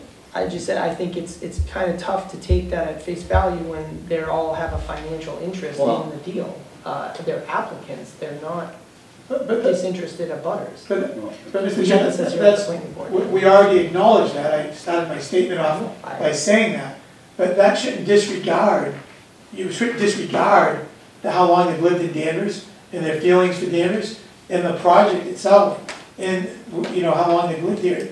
So I, I just don't really think this, they, oh, they get some money for it, so their opinion doesn't matter? Like, how, does that fair? Does that mean that twenty-five years of living at their house on Maple It's a- Street, It's a do- balance. doesn't matter?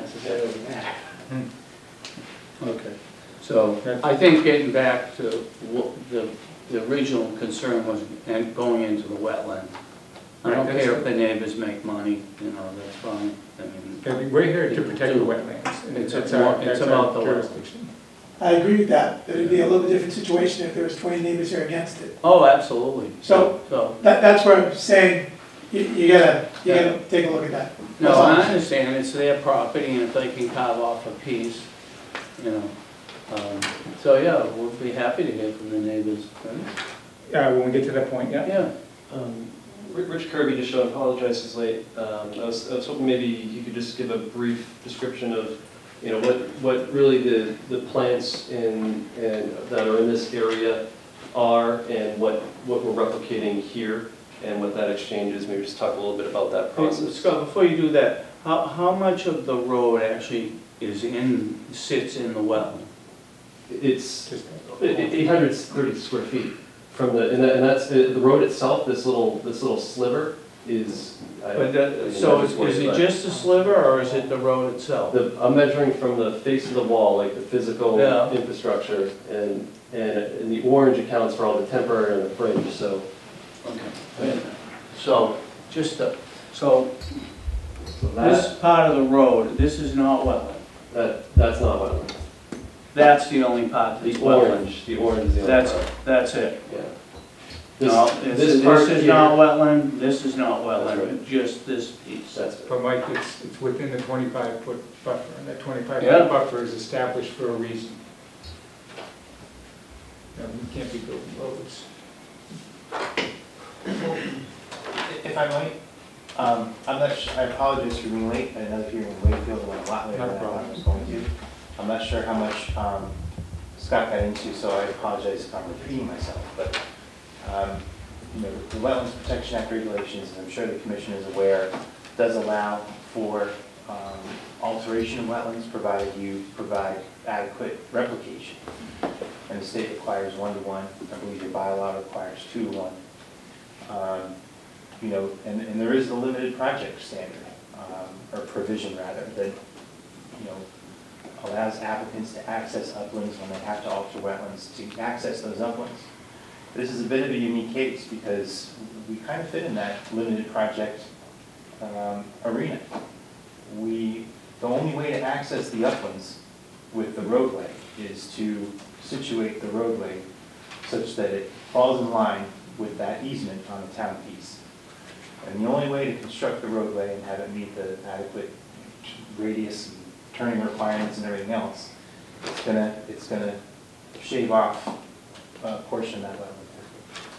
Um, As we saw during our site visit, there's a gradation. As you walk downhill from the upland into the marsh, you walk through, you know, a pretty wide swath of what I call terrestrial wetland. It's basically a forest. It has wetland plants growing in it. And you keep walking downhill, and eventually you hit, you see the black mucky soils in the marsh where there's standing water in the spring and whatnot. We're not altering any of that.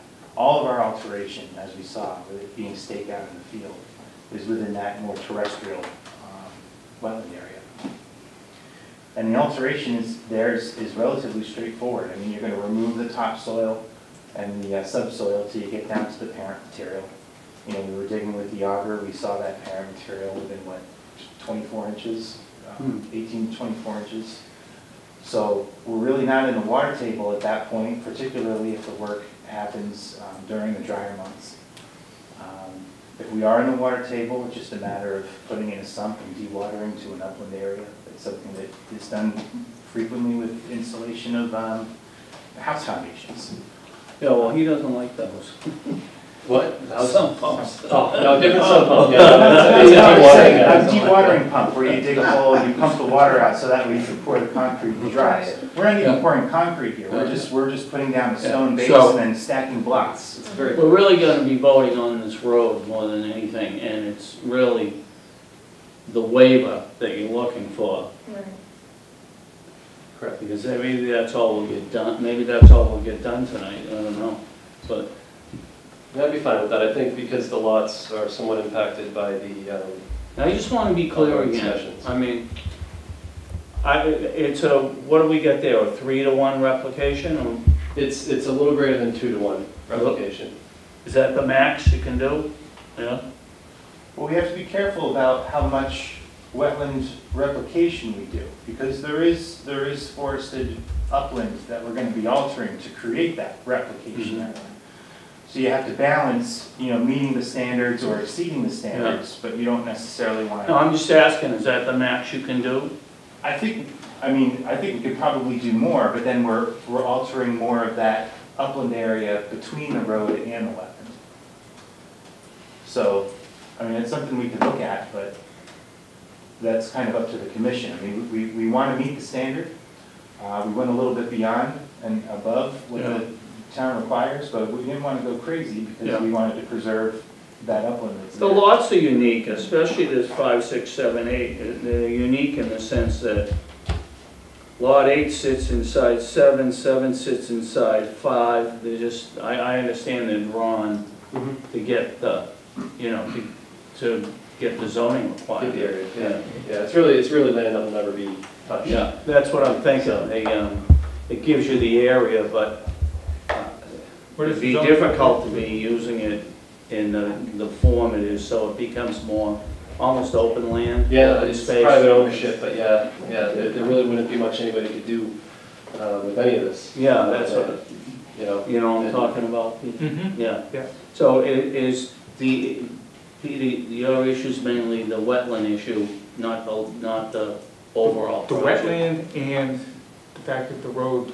you know, we- we- I think I mentioned this already. The wetland that the road was into is only eight hundred square feet, but there's probably three or four hundred feet that is within the twenty-five foot buffer. That twenty-five foot buffer is there to protect the wetland. Now, this wetland over there is, I mean, that's, that's part of the area's open space. Yeah. It's a nice So pristine point out, parcel the that. point out that- the twenty-five there, where the road is? the twenty-five, so twenty-five's here. Yeah. But So that's, I mean, uh, to your point, I understand what you're saying, but if you are gonna be altering a wetland with some sort of structure, of course you're gonna, you have to alter the buffer zone next to it. I mean, it's not as though we, it's not as if we could alter the wetland, but not alter the adjacent buffer zone.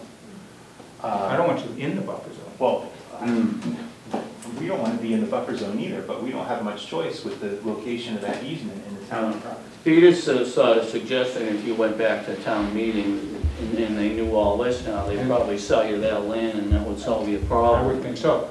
Uh, And the, the other, is there an alternative, and I think this question's been asked, I'm gonna ask it again. Is there an alternative to come from the east side of the Fox Run Road, somewhere over in there? There- There's, Where there's where it's not, upland? yeah, there's not, it's privately owned There's land, nothing it's there. developed. It's all privately owned land, and people are agreeing to But sell. their, their development is, there's, ex- there's no excess land here. We, we did reach out and explore that option. It, it it wasn't an option for How about off of Maple Street? No, it's all, it's all existing homes. Yeah, there's a store for the next thing, Uh, too. yeah. There's a store there, yeah. So they're, they're people's homes and, y- you know, I understand the Tommy, that, I mean, that thought goes through my head too, but I, I think we, we've been down that path, we've done it, and we had that opportunity on the table, and I, I can't help what was said or not said at a When time did meeting, that but happen? ultimately that was, I think there was a zoning town meeting, was it? It must I think it was that May. No, it was general, the It was, regular it town was meeting. regular, I think it was two weeks yeah. so. I don't think it's, you know, I think we're doing a really good job balancing, balancing things here. And, and I don't, I don't think it's fair to ask us to go through that, that process again. Town meeting, we, we've been there, we've done it once, we had that opportunity. And we thought it would go through, we, uh, we never thought we'd be here, but we are. Right, and You're you're also, you're also asking us to, to, to um, disregard what the town meeting's wishes were. We're, we're, well, no, we're not, we're not voting on town meeting, we're voting on the application here. That, that, that- that's a, that's a whole separate thing. I think the town meeting, if they had the, the total picture, I can only speak as one member, would probably think differently. I don't think the town meeting would say, you know, by us not selling, we're gonna force you to go into the wetlands. I don't think they would be, that would, they wouldn't advocate that. I wish I had you championing at the meeting uh, at the time. It- It's just, th- these are the cards we have right now, right? So, so what I'm, what I'm, what I'm hearing is, I'm, I'm hearing some concern about, about the, the buffer. I'm hearing about maybe trying to massage some more replication area. I think an Yeah. opportunity to, to further. Rich is, have you, are you familiar with limited, limited, the limited crossing statute in the Wetlands Protection Act? I think, I think he mentioned it. Yeah, yeah, he was getting into it. Yeah, I mean, if, if it's a, it's basically just a provision in there that says, I'm I'm paraphrasing of course, but if you have a piece of upland that you can only access by way of altering a wetland, you can do that, you know, provided you meet all the standards to the maximum extent practicable. And usually you're, you're crossing a wetland like we, you did on another project, Whipple Hill, Whipple right? Hill, where you actually, you cross, you cross the stream with a culvert, altering the twenty-five foot buffer zone on either side of that crossing too.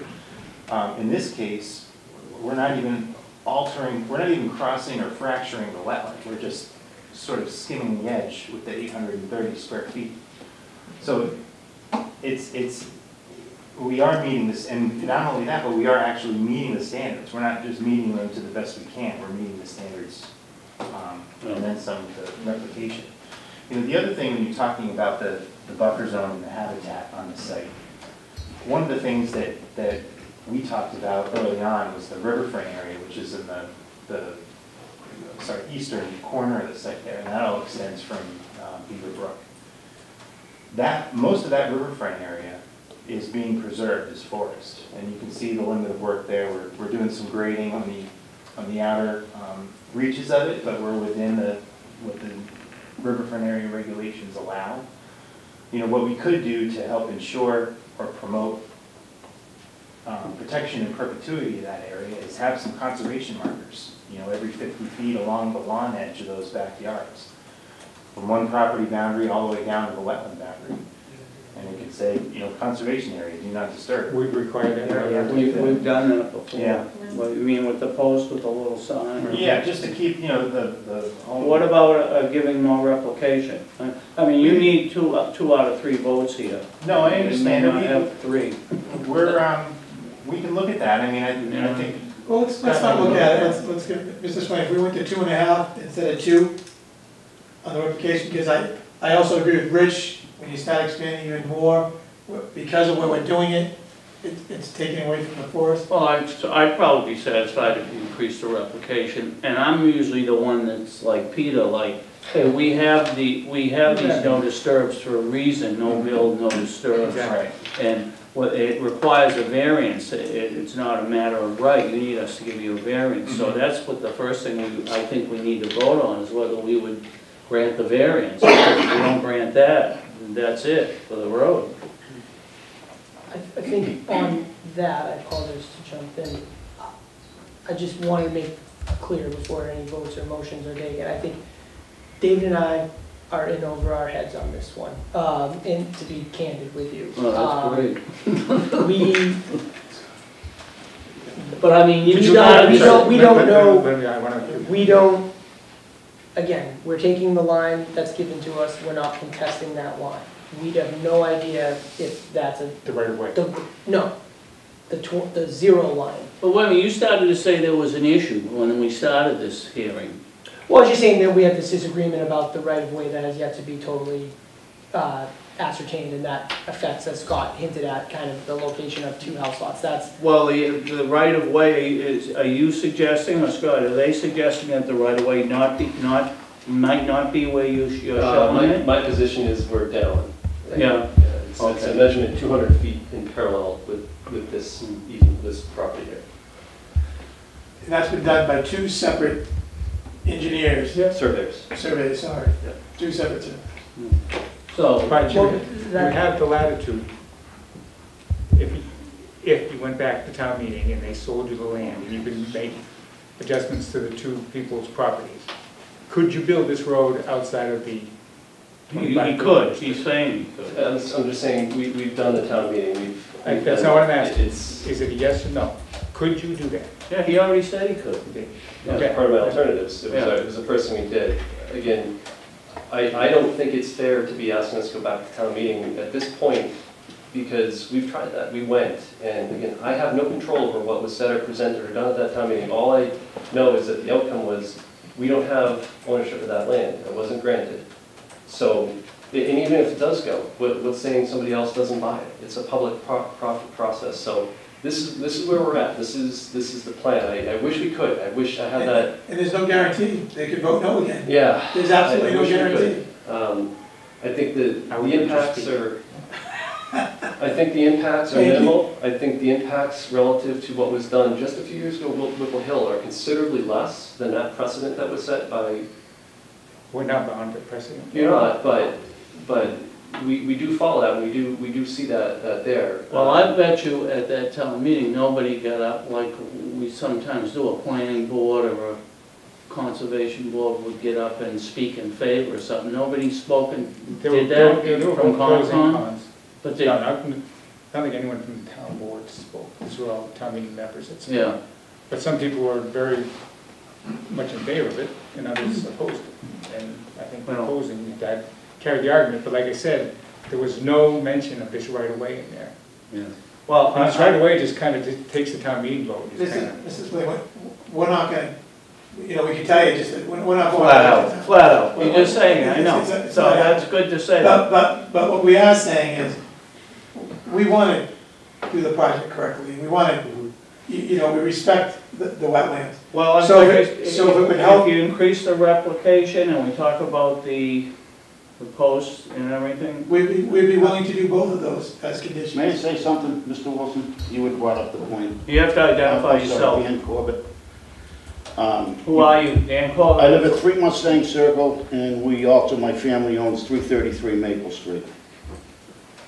There was two people that tried to get up at town meeting and explain that, and one was Bill Bates, okay? And the other one was Bill Nicholson. But there was two other people. In that- favor? Oh, yeah. Yeah. And why didn't they? Well, because you had a couple other people that really got boisterous on it, and I'm not gonna get into name throwing here, but the bottom line is, they stuck with one guy, okay? And that's what happened. Yeah. But it took us nine months. We went nine months to get, the- to get this thing squared away, and they turned it down. Nobody wanted to listen, because it was all made up when Mr. Clark got up, okay, and started bad mouthing this project. Hey, I like Mr. Clark. Well, so do I, he was one of my We teachers. also want to bring names. That's right. But Mr. Swain, we'd be willing to do both those things, Yeah. if that helps. Well, I don't know how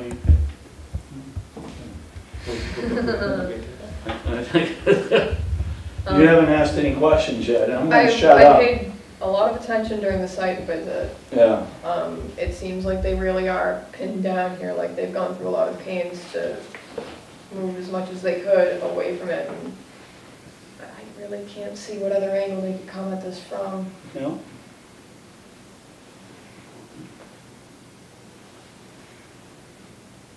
I have, Do we have no- I any I don't other have any questions? more questions right now. Um, Uh, okay, I- I'll say I'm not happy, but Yeah. but we'll, we'll get back to it, and I want to open it up to public comments. So if there's anyone that would like to speak on this, uh, just stand up, identify yourself, and say your piece. Go ahead. Thank you, Mr. Chairman, Matthew Duggan, Town Meeting Member, Precinct One. So, just a point of information, we're specifically discussing letter C, as in Charlie, and this is uh, on the agenda, and this is specific to the roadway. the roadway, just talk about Okay, the so I just roadway. have one uh, comment about the roadway, or uh, a question, I guess. Um, So the stormwater management system that was described, there is a uh, underground filtration system, a proprietary filtration system, and then there's the retention pond on the left border. So uh, the roadway initially would be a uh, private way um, until at such time the town meeting accepted it as a public way.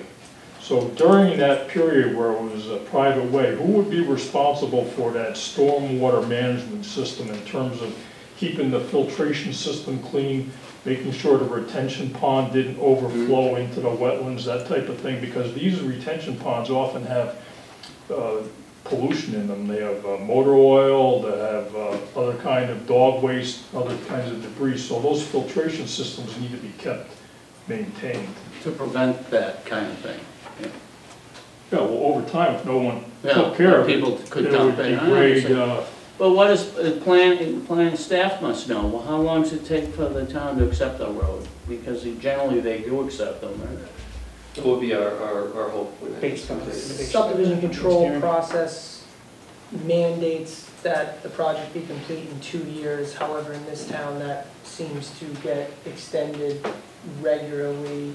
And so we, it's not uncommon in this town to see projects open for um, much longer than that. So here's a good question, because is that something that would be in the deed, the parties' deeds about the, Yeah, the, the developer would be responsible for it uh, until that time in which the town takes control. So the developer is responsible typically, They and post I a won't speak for for, I'm not gonna speak for the town, but on every road acceptance I've been through, the town, whoever is responsible in this case, I suspect it would be the town engineer, would require that, just like you buy a new car, everything is squeaky clean, so catch basins are pumped out and cleaned, infiltration ponds, or if there is any trash or debris or whatever, and then during construction, they're cleaned out, loam seeded and cleaned up, and the roadways, you know. But now it's- we know it could take years, and you posed a good question. So the Yeah. developer, So the developer is responsible for that until the point at which. Well, do it's- they post a bond for that, as it Yes. stays bonded until the town Well- accepts it? They post a bond for the construction of the Right. right of way, so they could technically be done with construction in a year,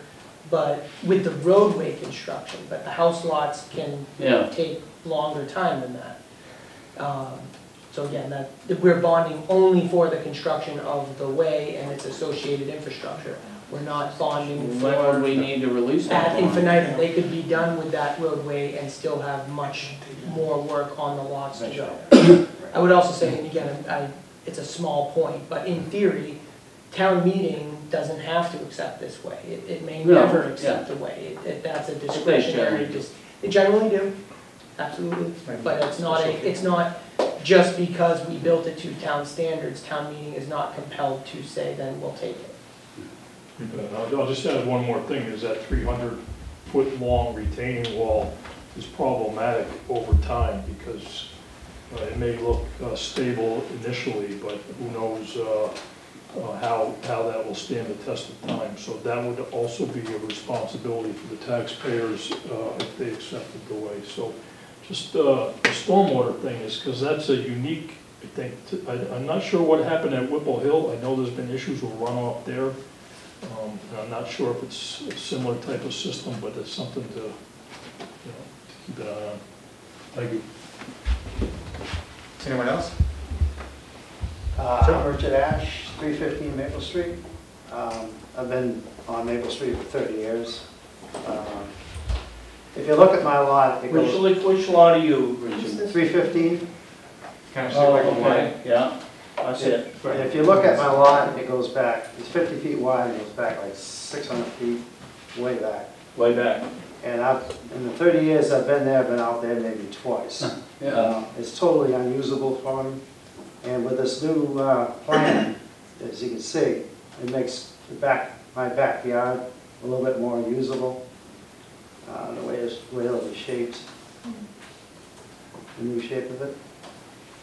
yeah. So I'm How far definitely, back will your lot go now? Well, then, um, I'm not quite, I I don't have the measurements, but I'm not quite sure. two hundred feet maybe? Two hundred fifty? Two hundred fifty, I'd say. But it it opens up. But It's more usable than what I have now. It's something All right. that uh, I'm definitely in favor of the project for not only financial reasons, Yeah. for that, because I've always considered it a waste, having that strip of piece of land there that's totally unusable. That's all That's a I'd good say. point. Yes, My name is Marla Velasquez, and I live at 317 Maple Street. I abut the property that Richard Ash is at, and also the 321R that is owned by the town of Danvers. My husband and I have lived there for the past 14 years, and we have three children, 15, 13, and 11. And there are not many advantages to raising a family on Route 62. I will tell you that um, my husband and I have worked really hard to improve our property. And looking at the way our property currently sits, we're really limited to what we're able to do for our family. We recently built an in-law, and our goal is to age in that home and have our family to transition with us. When I initially heard of this project, I also heard of mention of opportunities to explore expanding rail trail and um, improving the property for- as it relates to the community. You know, currently, um, as you can imagine, Route 62 is not an area where your kids are running around playing on the sidewalk. And um, in addition to what staff has mentioned as financial interest, I invite any of you to take your loved ones anytime between three and five in front of the pizza shop on Route 62 and cross the street to go to Endicott Park. Because what you will find is that very few people stop. Many of them try to bypass each other when you're in the middle of the crosswalk.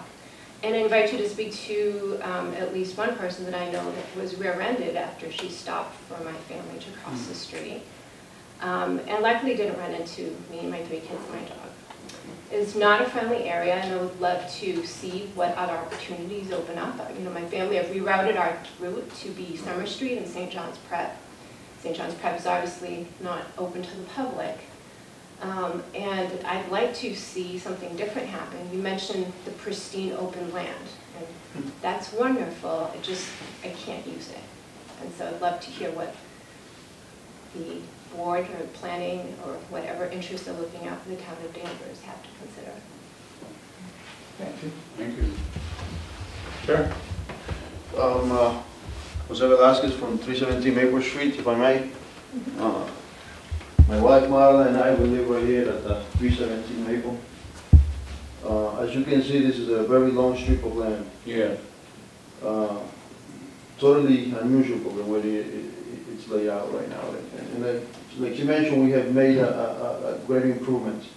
Eh, And to be fair, uh, when I first heard about this project, we- we we were totally against it. And, uh, you know, There were different, many reasons why I was against it, but finally, uh, uh, uh, after careful consideration and seeing the layout of the land here, how I I was going to be able to use it more, more uh, uh, uh, beneficial to my family and my kids, we went along with it. I tell you, uh, uh, uh, as you can see, this, this- strip of land is completely useless, but now they basically doubled the, the, the, the, um, the way that I could make a playground for my kids. And my wife says, Route 62 is very busy. Uh, uh, My dog got hit, Super Bowl uh, 2018, he got hit by a car there, right, right, right, you know. Are you saying you have more usable space? Yes, sir. Because they're gonna widen out your lot? Correct, I'll be able to extend my backyard and and use it more in- in a better way.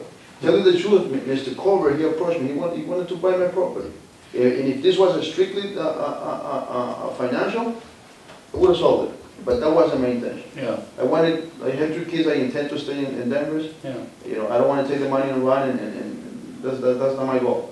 I truly believe that this will benefit, among others, myself, because of the, what they're gonna be doing with the layout.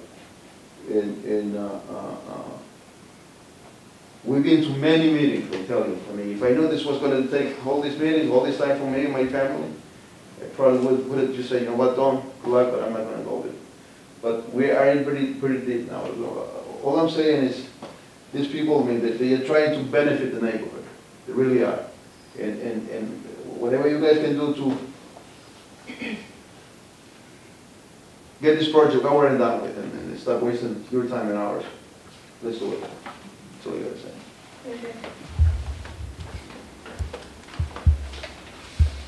Anyone else? Yeah? Hi, I'm Laurie Dixon, uh, 303 Maple Street, and I've lived there for 33 years. This is the condo building? This is the condo, right. Um, We have, again, a long, narrow strip in the back, which I have never fully been able to walk. You know, it's, you've walked, it's unwalkable back there. So what we end up doing for recreation in that area is to walk where the rail trail would be, the old rail bed. Can I ask a question? Yes. How do you get to the rail trail? The, the rail bed, The, the proposed rail trail, right? Um, I go down, um, what is that? Um, Nichols. Uh, um, by, be, to Summer. And Spring. And, s- To yeah. Spring Street, and you get on it there? Right. Okay. You know, and then walk up to Maple Street that way. And that's, you know, that's why I'd really be looking forward to having a rail trail there because it is, that area is really beautiful back there. But the property in between that we all own is not usable re- the way it is. So. How uh, does this connect to the rail trail? Uh, that's what I was asking, but she said she was up to, to Spring Street. But is there any way, Right. Scott, can I ask a quick question? Is there any way to access the rail trail from this proposed road? I don't think so, but I just wanted. Uh, There, there is a drainage easement as part of this that we did extend all the way out. Um, we- it- It's a drainage easement is what it's for, but we didn't otherwise provide these would be private house lots. That goes across someone's private lawn. Yeah, this would go between these uh, lots. It's not, nobody's lots gonna be able to walk to the rail trail from the back of these lots. Right. Right, no, they would be private. Yeah, that's all. So, yeah, the private. connection is Even actually, it's Even the just here. people along Maple, there's now gonna be ownership, people that live behind them now. Yes. Yeah. Right, Yeah, and the connection is you come down, this turns, and the connection's right about here. Yeah, I know what it is. right. And you come back up this way, then this was I back just wanted to to be 62. clear, there's no It comes around. proposed access from the back. Yeah, right into the No. riverfront So area. never. Yeah, you could do, you can do a loop Maple Street to Nichols, back out to Maple, and then come Yeah. back around. Right. So, Yeah. there's also no easy way, because this, the the marsh area that comes down to Beaver Brook, there's really no way to traverse this. Uh, We did at one point lay some planks across it to try and go through, but um, Yeah. I- we've tried that before, you Yeah. mentioned that the project next to the uh, the Agway. Um, There's really no easy way to get through there, so. Okay, are you all set? Yes. Anyone else? Ian Corbett, 333 Maple Street, that's where the roadway's going right in.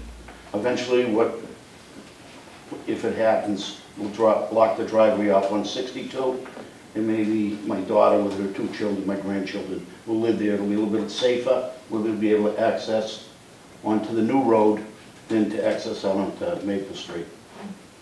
So, and I did try, when compiling this property together, to try to buy houses going up the street. Yeah. Nobody wanted to sell. Yeah. And these people are doing, even the minuscule money that they're getting for this, they're all putting it back into their homes. Okay, they all, you know, so, some comments shouldn't have been made. Anyone else? Okay, Staff? Any other further comments? I just, I think, as I started to say before, I think, you know, I, I wish that David and I had more experience with conservation than we do, and, and again, you know, we're just concerned that the variance that's being asked for, we don't know how to advise you on that, and that's That's why we suggested to you, uh, and included some contemplation of a possible peer review, because I, I, we, we have you know, I don't know. I, again, as we have talked about with the applicant um, at a private meeting, you know, this is in my career, in the, in the last stop I had in my career, this would not have come Been this forward. Um, And so I, ju- I don't, I don't know how to advise you, and that's why we suggested perhaps considering getting better advice than you're gonna get out of us on this, on, for your, for you to pursue. But I've heard there's been some peer review. What does that entail? We had, at the subdivision level, as we talked about, we had concerns about the waiver because our planning board regs require a spacing between intersections, and this app, application came in requesting that that distance be shortened, and as it turns out, the peer review didn't have a problem with that. Um, and it is basically back to where they originally proposed it. Um, we also had some concerns with the road geometry, not so much because it was proximity to wetlands, but just making sure that that layout was consistent with our rules and regs. And I think for the most part, everything came back okay on that. I'm trying to remember. Right, and while they were not charging it, that was one of those things that they looked, while they were looking at the subdivision plan, they noted that they thought that stormwater, they had some issues with stormwater, but we didn't ask them to look at that, so that was kind of left open-ended, um, which again, for this process is just, again, we're, we're, we're concerned, uh, you know, I'm, I don't know how to advise you on this. Um, this is a, Well, the way I see it, absent going to town meeting, which they're not going to do, this, this is the way, there's no other way to put the road in, it seems, because this is the right of way. Um, Absent buying the town property or buying someone else's lot and having them move away and go through the, obviously, I'm not a voting member of the commission, No, and that, no. that- again, that's, that's, this is where you But, I get, you mean- get the authority, and but if, I don't know if we're done with the hearing, if we're opening up for a Uh, vote, or, We're close. yeah. Uh, Is that it, Aaron? Anything else? Dave, you have anything? All right, so, I know, actually, the only other thing was I don't know if you had a chance to see Mrs. Curran's comments that she sent along, but I haven't. Uh, Vanessa's. Yeah. Oh, Yeah, yes, I yeah, did. why don't we read those in the record? Okay. Remember this up here. She said, "My main concern on Beaver Brook Woods has to do with the wetland replication area. I noticed on the proposed design that they did not amend the 25 or 35 foot buffers in the replication area. Wouldn't these buffers apply to replicated wetlands as well as natural? I'm concerned about road impacts on the wetlands, both existing and proposed replicated areas, particularly in winter with salting, sanding, and plowing activities. These impacts could impede the replication area from being properly restored. This would increase the total area of the project where they are within the 25 and 35 foot buffers, which is not accounted for in the narrative. Redrawing the buffers may also have an impact on some features of Lot 8. The area with the proposed one-to-one slope and a portion of the property's retaining wall may potentially fall within the 25-foot no disturb. Uh, I'd also want more info on the drainage plans. Again, on sheet five, on the drainage easement between lots five and six, there's a note for proposed riprap outlet protecting the 200-foot riverfront area. Uh, Looks like the stormwater will be flowing into the 200-foot buffer there. Uh, This is already within the 25-foot no disturb without taking into account the replication. Okay. Any other further comments? No, she has a lot of concerns though. Mm-hmm. And so how are we wording a motion? If someone decides to make a motion? This is. You want, I, I would probably say you need to make a motion uh, first on the variance. Your request- So we have to vote on the variance first. Variance, I think you gotta vote on the variance first. Right. You're asking for a variance. Yeah, we are. So there, there were some comments uh, brought up about uh, increasing the replication area. Uh, And I guess I'd wanted to, I'd want to poll the board first. You, you want us to make those adjustments? Yeah. Or would you, and I guess I'd be curious to know where you stand, if you were so willing. But, um, you know, if we can, I just don't want to prematurely move on this if, if there's something you want us to add into it, we talked about. It's your, dis- your discretion. Well, we already heard from the developer, he's willing to do it. Correct? Correct. If you went from the two to two and a half, Right. Yeah. and if also you wanted, what's the technical term? The conservation marker, so long the uh, limit of work within the. The entire, I mean, you could, yeah, Yeah, we can, we can mark it, and that's typically what we do, I can actually add them, add them to the plan if we want to. Usually we don't put them in the plan because you, you go out in the field at the end, we decide where you can see them and they're visible. We set them on a, Would in a it be the table. limit of work line? Is that what you're proposing? So, right. Uh, yeah, in this, in this case, work. would be, what we're talking about is the limit of work up here. We're, we're we're effectively identifying that limit of work. This is on the of house lot applications, which wouldn't be this one. The roadway would be, be fixed by the wall. We can certainly put plaques along the wall as well as a conservation zone. Um, I we think, can- yeah, you wanna identify it. Yeah, yeah, we can absolutely put those, and those would adhere right to that wall. We can, or, or on the fence, there would be a fence on top of this, so we could put them right on the fence posts. Mr. Splain, those would be like two conditions of the, of the motion, is that correct? Well, um, they're proving the road, right? Of making an order of conditions on the notice of intent, but first we have to vote on, I think we have to vote on the variance. Yeah, we can't, we won't get to the order of conditions if we don't grant the variance. Right.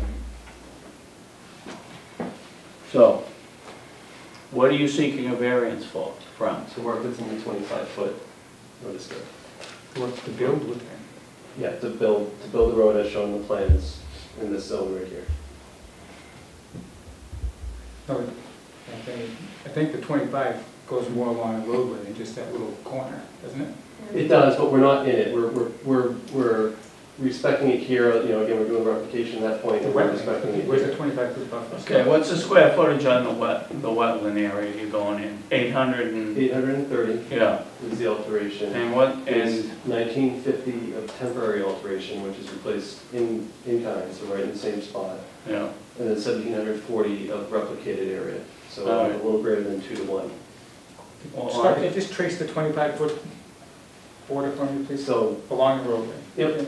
So it comes through here, and then it follows along here, and then comes back this way. So you see that? So most of that wall is within the twenty-five foot buffer. No, it's outside of it. Most of the wall, and actually, most of the wall is actually out, about sixty percent of it is out. It's only the section where we're coming through the rounding. Right? And I didn't, uh, I'm looking at two, we also work with the engineering department to move this in, and it's typically set at the outside of the right of way. What lots does that Work to pass through? Uh, it passes through, the- these are just kind of rear parcels back here that Yeah. are just attached to the different properties. Um, Yeah, okay, So three thirty-three, three twenty-seven, yeah. and then it goes, uh, the replication is mostly on lot uh, eight here, but that would be, that would be in that area. So, uh, uh, you want me to make a motion? Um, Just one quick question before we do that. Yeah, we can. You're the chair. The, the three sections back here, parcel A, parcel B, and parcel C, are those being sold to the developer as part of this project? Or is that Um, still gonna be just? No, it's, it's a very good question, actually, it's a very good pickup. Um, So parcel A would retain an ownership of 333 Maple Street. Mr. Corbett is here. Right. Would you want to, do you, do you plan to hold on to that land afterwards? I was probably gonna donate it to the Okay. town. So parcel A, donate. Parcel B is owned by Mr. Goslin, um, and I can't speak for him. And parcel C would be conveyed to Mr. Colantoni and Beaver Brook Woods LLC. Mr. Colantoni, do you have any plans for that marsh? I I have no plans for that marsh. So two of the three I can speak for. I know this one is under his mortgage, so I don't know if they would release that. But They need a partial release from the mortgage It's- company. Yeah, it does, I mean, it's useless land for them, it's wetland, but uh, we haven't, right now, we, I I can't say that, so that, yeah. But it's, it's all, this is the marsh in this area, this is almost entirely marsh. So it's not buildable land, you never be able to do anything with it. Uh, so, I think the land, the town value is open space. Yeah, especially even passive open space, of course.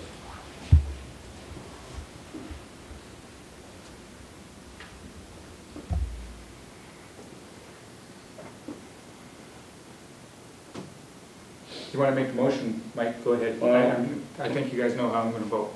Yeah, well, I'm- I'll make a motion that we get, grant a waiver from uh, bylaw with regards to the 25-foot, so as to allow the road uh, to pass through as shown on the plan uh, presented by Morin-Cameron with respect to the the 830 square feet. 30 square feet that actually pass through the wetland and with respect to that area of the road uh, that passes through our no disturb uh, in accordance with our bylaw, and I make a motion that we waive uh, to allow the road to be um, built as, as shown on, uh, with the condition that the uh, area, of the replication area currently shown on the plan be increased from two to one to two and a half to one, and with the further condition that markers be placed throughout the, uh, the area shown, and I don't know what color that line is. The limit of work along the riverfront The area? the limit of work along the riverfront area and along the wall area? Is that what you would? Yes, a- as would be determined, I guess it would be on these, these borders for the lots. The borders for the lots, yes. So that's my motion. Okay, the motion's been made, is there a second? I'll second. All in favor? Aye. Aye. All opposed? Aye. No. No. So, two to one vote, it carries. It carried two to, uh, probably lucky Vanessa wasn't here because they didn't need three out of four. right? So my question for the board, uh, we also have three orders for the, or notices filed for the lots. Yeah, well, I would ask to to be, make a motion to continue because I'm That's what I driving to New. York tomorrow morning and I don't want to stay here any longer. Yeah, so, all right. And you're up at So- four thirty, you gotta get some. So we made, so we made the motion on the, on the variance, so are we Yeah, still doing the so we- motion? we now make a motion, uh, uh, should- can I make another motion, Mr. Yes. Chairman? Uh, I make a motion that we, uh, where, can I see you? Yeah, lost my place. I make a motion that uh, we issue an order of conditions in connection with the um, notice of intent for, let's see if I got this right, yeah, for the DEP file number fourteen one three three oh applicant Beaver Brook Woods uh, for the road uh, for the construction of the road at 303-309, 305R, 313R, is that, do these track the road, Scott? I'm sorry? Do these track the road, is that why they're? That's, yes, the, the property is. Yeah, 315, 317, 325, 327, 333, and 333 uh, Maple Street.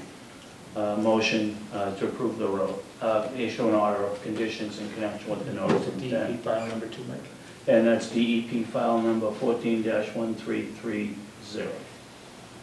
Motion's been made, is there a second? I'll second. All in favor? Aye. Aye. Okay. Uh, You and I, Peter? Yes. All right. Okay, so, um, are we all in agreement we can continue this to our next meeting?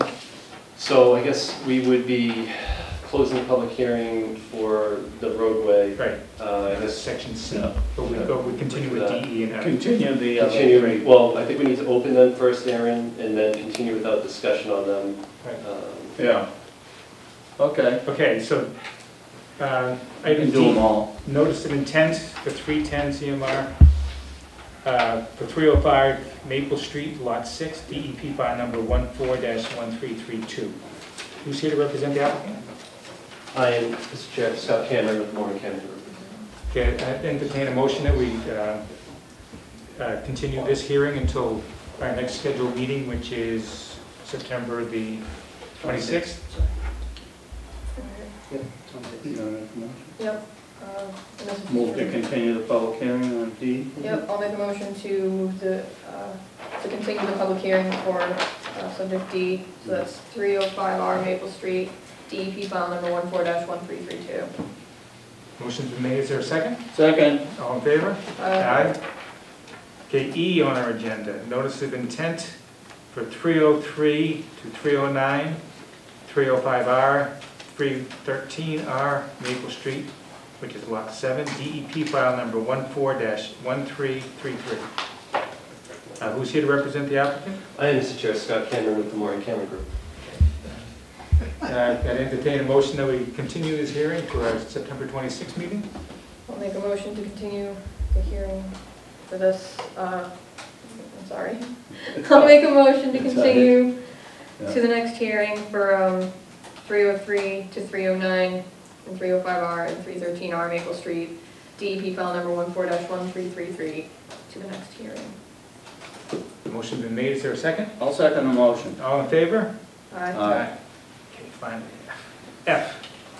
Uh, the Hearing notice of intent for uh, lots 303-309, 313R Maple Street, which is Lot 8, in DEP file number 14-1331. Who's here to represent the applicant? I am, Mr. Chair, Scott Cameron with the Morin-Cameron Group. Okay, uh, can someone make a motion that we continue this hearing to our September 26th meeting? I make a motion to continue this hearing to our September 26th meeting, that's DEP file number 14-1331. All, in- I'm sorry, motion's been made, is there a second? Second. All in favor? Aye. Aye. Okay. All right, so Thank you. we are. We didn't vote. I didn't miss it. You did? Oh. Okay. Do we need to, uh, When's our next meeting? The applicant just asked if uh, procedurally we need to close the hearing for the roadway. Uh, You voted to approve the order. uh, I think just a formal vote to close the hearing, the public hearing. Close that matter, or do we? I don't think we Well, we would have We done did. that probably just before we the vote voted, kind of but, closed uh, you know, the Okay. vote closed it. Okay. Okay. I'm satisfied. Thank you very much. Yeah. Thank you. Good luck, good luck to the neighbors.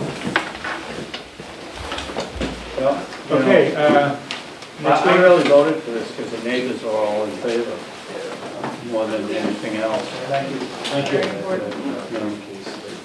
um, next order uh, on our agenda is minutes from July 25th. I think those were revised uh, based on some uh, corrections that uh, Vanessa suggested. Uh, Anyone had a chance to review? I have them also, like, I wasn't present for the July 25th meeting, so I don't know if I can approve them, but um, I can approve the August 22nd. You can vote on meeting minutes, that, the meeting you weren't at, it's okay. Okay, so the motion's been made to accept the meeting minutes from July 25th. Second? Second. All in favor? Aye. All right, uh, and the August 22nd minutes? I'll make a motion to approve the August twenty-second minutes. And Second? Second. All in favor? Aye. Aye. Okay, is there any old or new business that we need to discuss? No, I think our time. Okay, just that we need some new members, correct? Yeah. yep, we'll- Members, staff, yeah. And, and staff, that's correct. Okay, uh, I think that's it. Uh, do we have a motion to adjourn? I make a motion, we adjourn. Second? All in favor? Aye. We show stuff on. Aye.